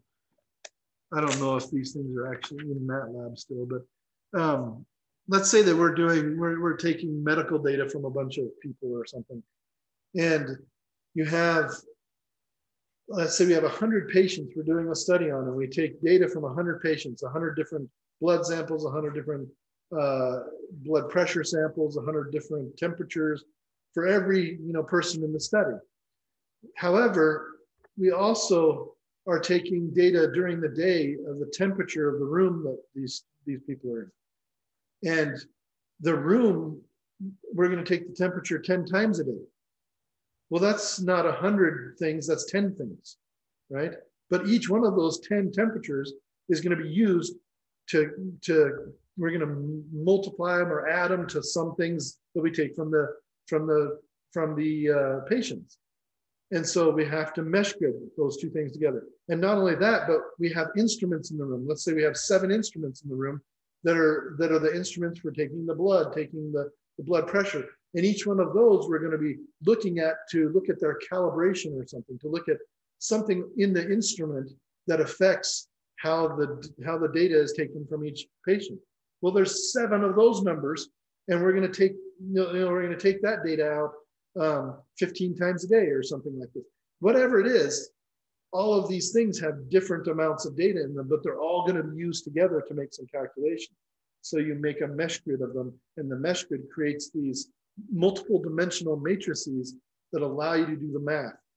And it's I, I sometimes I think that people are really confused by this, but let's look at X. X is the numbers one, two, three. And the big X is when we open it up, if we can open it up. Here we go. It's those numbers one, two, three in the first drawer, one, two, three in the second drawer, one, two. I mean, I mean, these are just one, two, three, one, two, three, one, two, three. It's all those numbers in X, but it's arranged into a matrix so that it can be multiplied with the other matrices and you're still doing the math correctly, right? The same thing with big Y. They've created big Y is two, or little y is 2468. Big Y is going to be 2468, 2468, 2468, but it's a two, four by three by two, just like big X is a four by two by two. These things have the same uh, amounts of rows, columns, and pages. And the same with Z. Z was before 10 and 20, and now Z is 10 and 20 right? Because its thing was in the two, right? So the, the X, the big X changes in the rows, the big Y changes in the columns, and the big Z changes in the pages. And that's, I mean, if you're doing, if, you've, if you've never done any high end kind of matrix algebra, it immediately starts to click, I think. But um, hopefully you can kind of see how this will work work to, to help us do the math. All right, so that's uh, that's the that's the idea of the mesh grid when we start getting into volumes and three-dimensional stuff. Uh, gives us a little more idea of that. Now let's see if wind, this wind file of data is actually here. Let's see if we can load wind. If it's in that, it is. Hey, look at that. That's great. I'm going to go ahead and clear some things and then do that again. So we're going to load this uh, data file called wind.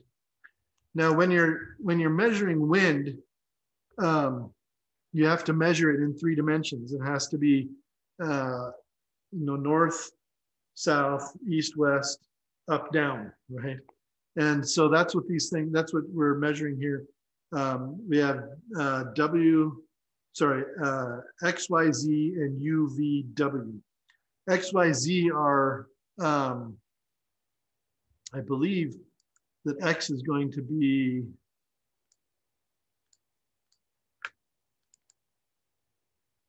see if I can open it and see. Um, yeah. So uh, X is the raw data, I think, where this is measured in, let's see. I don't know what the units this would be in this can't this can't be in meters per second. That'd be way too fast, unless it was in the middle of a tornado or a hurricane. Maybe it is. Um, but this is going to be a um, this is going to be the raw data that's actually that tells you the speed of the wind in this direction, and then um, U is going to be a, a more a normalized version of this that is going to have um, that's going to be essentially divided by some number to to give it um, to give it a different value that's easier for calculating. I think that's I think that's what they've done here.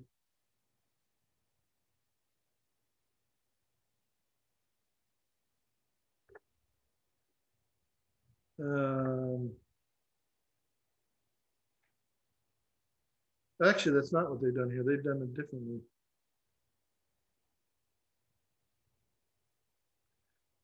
Okay, so what I think what they've actually done here for this wind data is they've defined the beginning and the end of each vector of wind.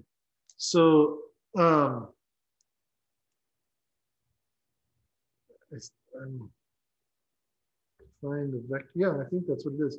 So this is a little bit different than I thought. When when when I take wind data on, I have a tower that does this that takes wind data. It's it's it does it differently than this, but I have a, sonic anemometer, so maybe that's why it's different. I don't know. This is actually a, a data for wind in a in a volume, and these are the points apparently where they're taking the data. So these are the x's, the y's are the y's, and so each one of these points, uh, this right here is an x coordinate in the y. There's a y coordinate in the z. There's a z coordinate, and then at each of those points there is a data point for the wind velocity in the x direction, the wind velocity in the y direction, the wind direction in the z direction in order to do something like this, you would need an incredible amount of, of um, uh, you need an incredible amount of sensors. Like we, the, the funny thing about measuring wind is that usually you see these little like windmill things that are like little cups or things that are just like spinning around around to measure speed and then this vane that turns a different direction. Those are very low end wind measuring devices. Um, what's usually used is what's called a digital anemometer,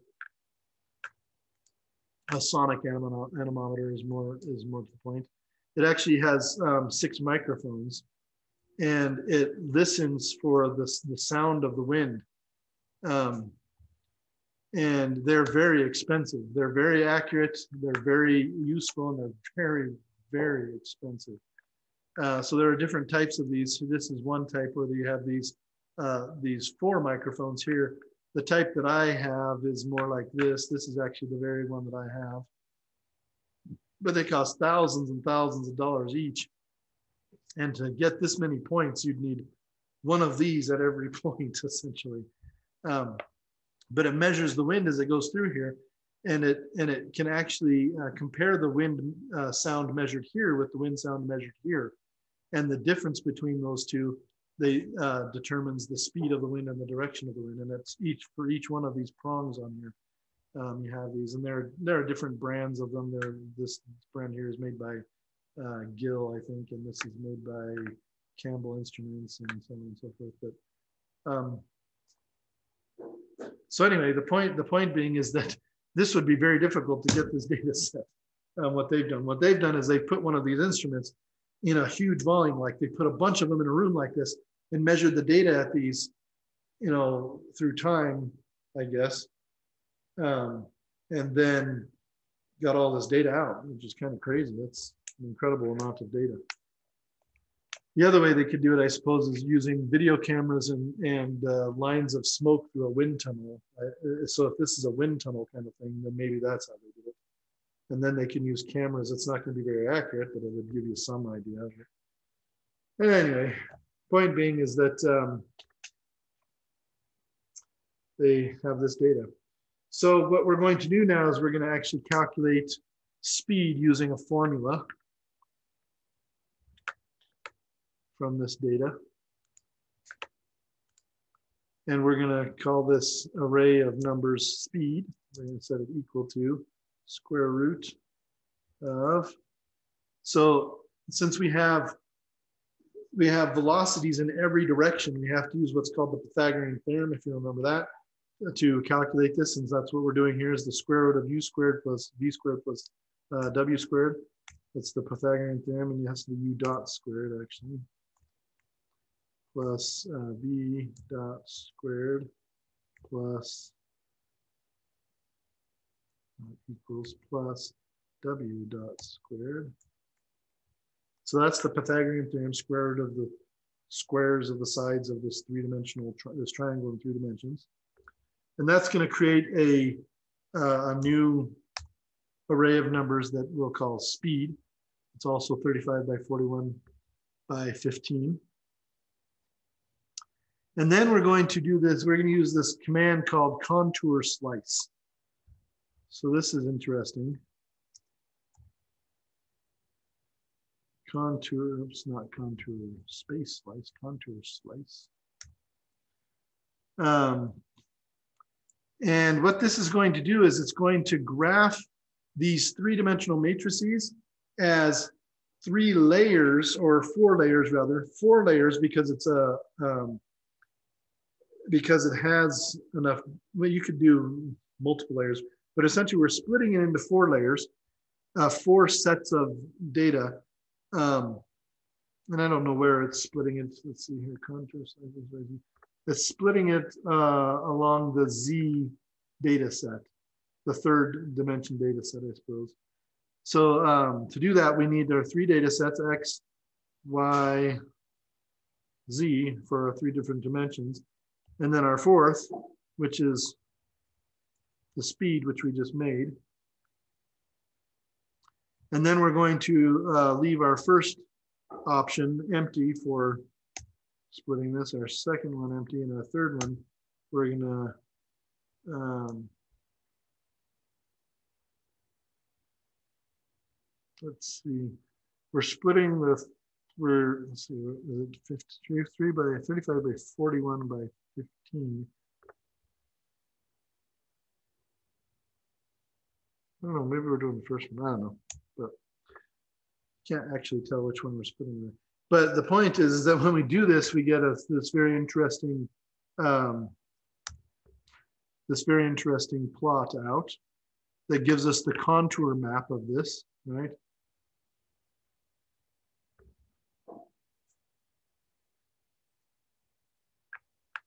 Now let's see if I can change this by hand. I don't know if I can, I don't think so. Well, we have to do this by code here. So now we're going to actually um, change this to four different slices. Let's see. Okay, yeah, I know what we did. So the first one, we actually showing, we're showing one slice, which is the eighth the, it's the eighth level in the um, in the in the it's the eighth page essentially of this three-dimensional matrix. So the first one we're just showing the eighth page. This time we're going to show four different pages, and it's going to be pages one, five, 10, and 15. So that's that's where we split it into four. So the first one we only showed one slice, and so it can just show it as a map. But this one, it's going to actually show them as slices on top of each other, not where we wanted them to be. Now, if we want them to actually be uh, not on top of each other, we're going to have to have some tools available to us here. How do I open the tools? I don't remember. Let's go to figure window and let's undock this maybe. Here we go. Here are some tools. Um, let's rotate 3D. There we go. So when we rotate this in three dimensions, we can see that now that we have five layers, I um, I left one of my, I left that last one on apparently. I still have my hold on. But um, it even shows you where the layers are. There's a layer at one, there's one at five, there's one at eight, there's one at 10, and there's one at 15. Then you could do all the layers if you wanted to. But this shows you how things are changing from in this third dimension, where it's very difficult to imagine that in three dimensions. It's very difficult to plot it and imagine what that looks like. Now you can also do an, another interest, and remember that this is the this is that plot of wind data, right? So This essentially tells you what the wind is doing over time, and you can see it is changing over time. But you can also do uh, a different plot to show this, and they, they call this a cone plot. I'm not sure if they actually show the commands for that. They don't, And I don't remember what it is, so let's go find out from the help. Help cone. Uh,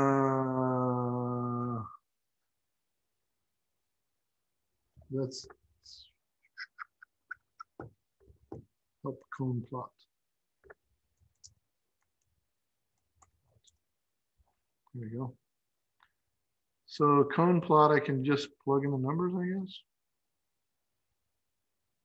Where did it go? Here we go, cone plot.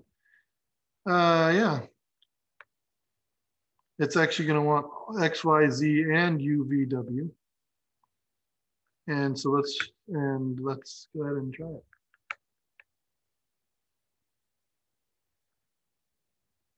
Cone plot. Uh, X, Y, Z, U, V, W. And let's see what happens. Go to our figure window again.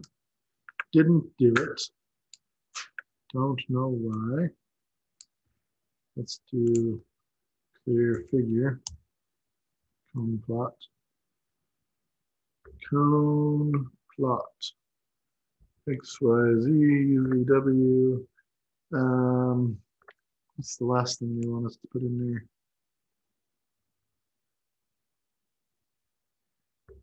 Oh, we have to, we have to do a mesh grid.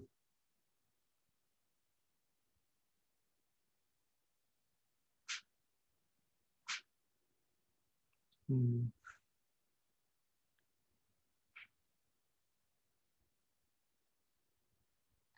Uh, let's see. There's cones at the points. There's cones at the points in the vector field development. UVW. All right, so we actually have to actually we actually have to create another vector to do that.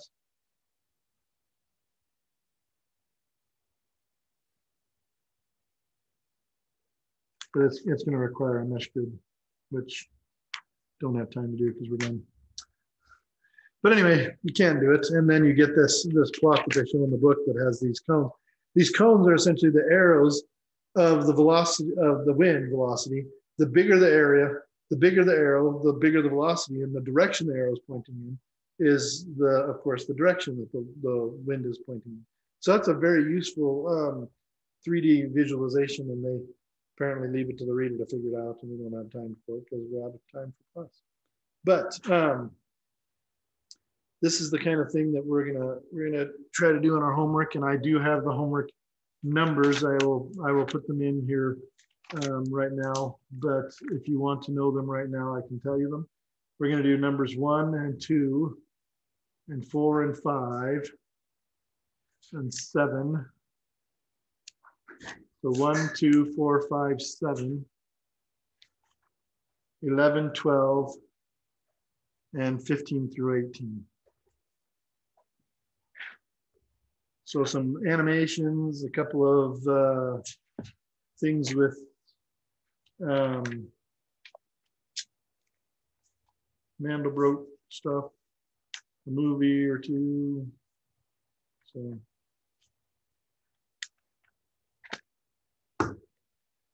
And that takes us to the end of coding um, direct coding, I would say. Chapter 15 is going to be a very different kind of thing. Creating graphical user interfaces, we use, we almost exclusively do that from uh, property inspector windows. Uh, so it's mostly kind of point and click kind of stuff rather than writing code. You still deal a lot with code, but it's in a in some somewhat a different way. It's more like you uh, manipulate code and alter code and add code into existing code rather than writing code from scratch. So it's a very different kind of feel, but it's more realistic, I think. Not necessarily more fun, but more realistic. All right, we're done. Have a great day. And we will see you next week. I will get this all put into MyOpenMath for the chapter 14 homework.